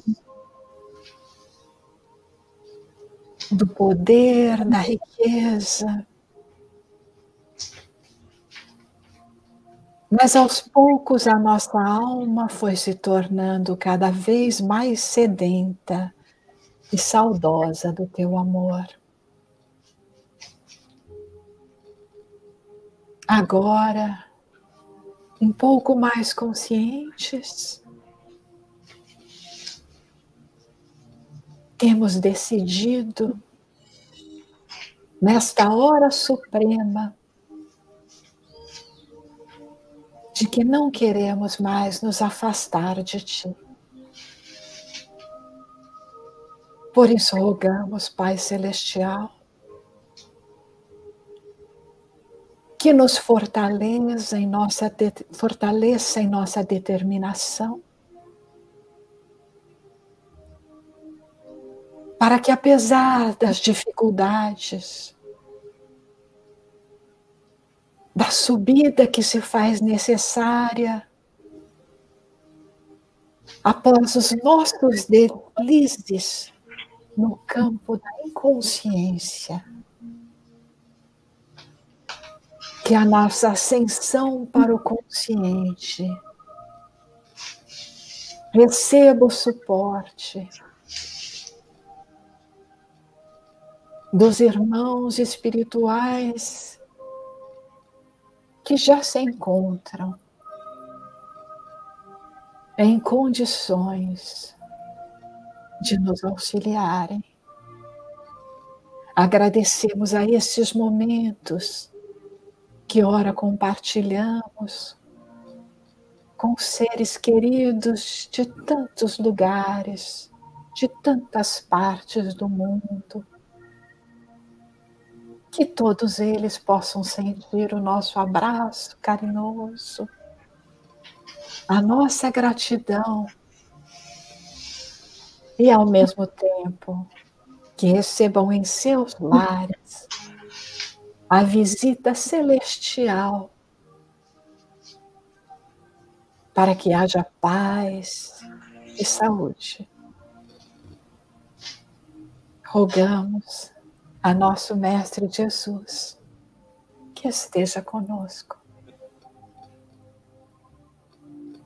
Que possamos sentir o seu abraço, o carinho do irmão mais velho,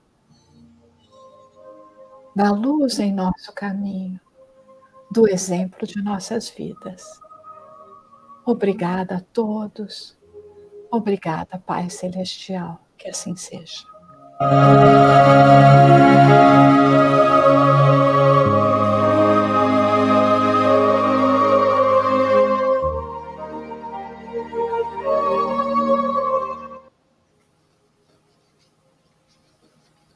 Obrigado, viu? Gratidão, né, Divina?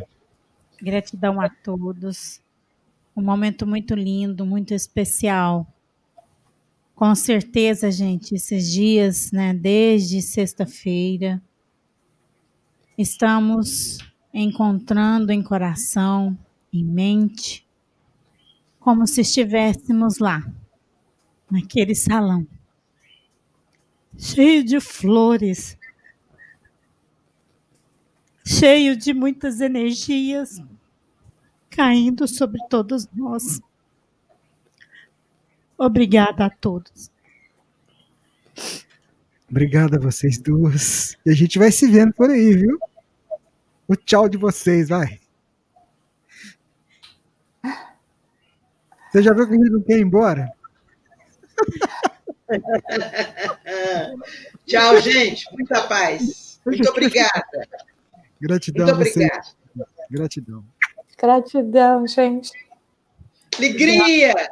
Alegria. Está com você, Jussara. Muito obrigada. Tchau.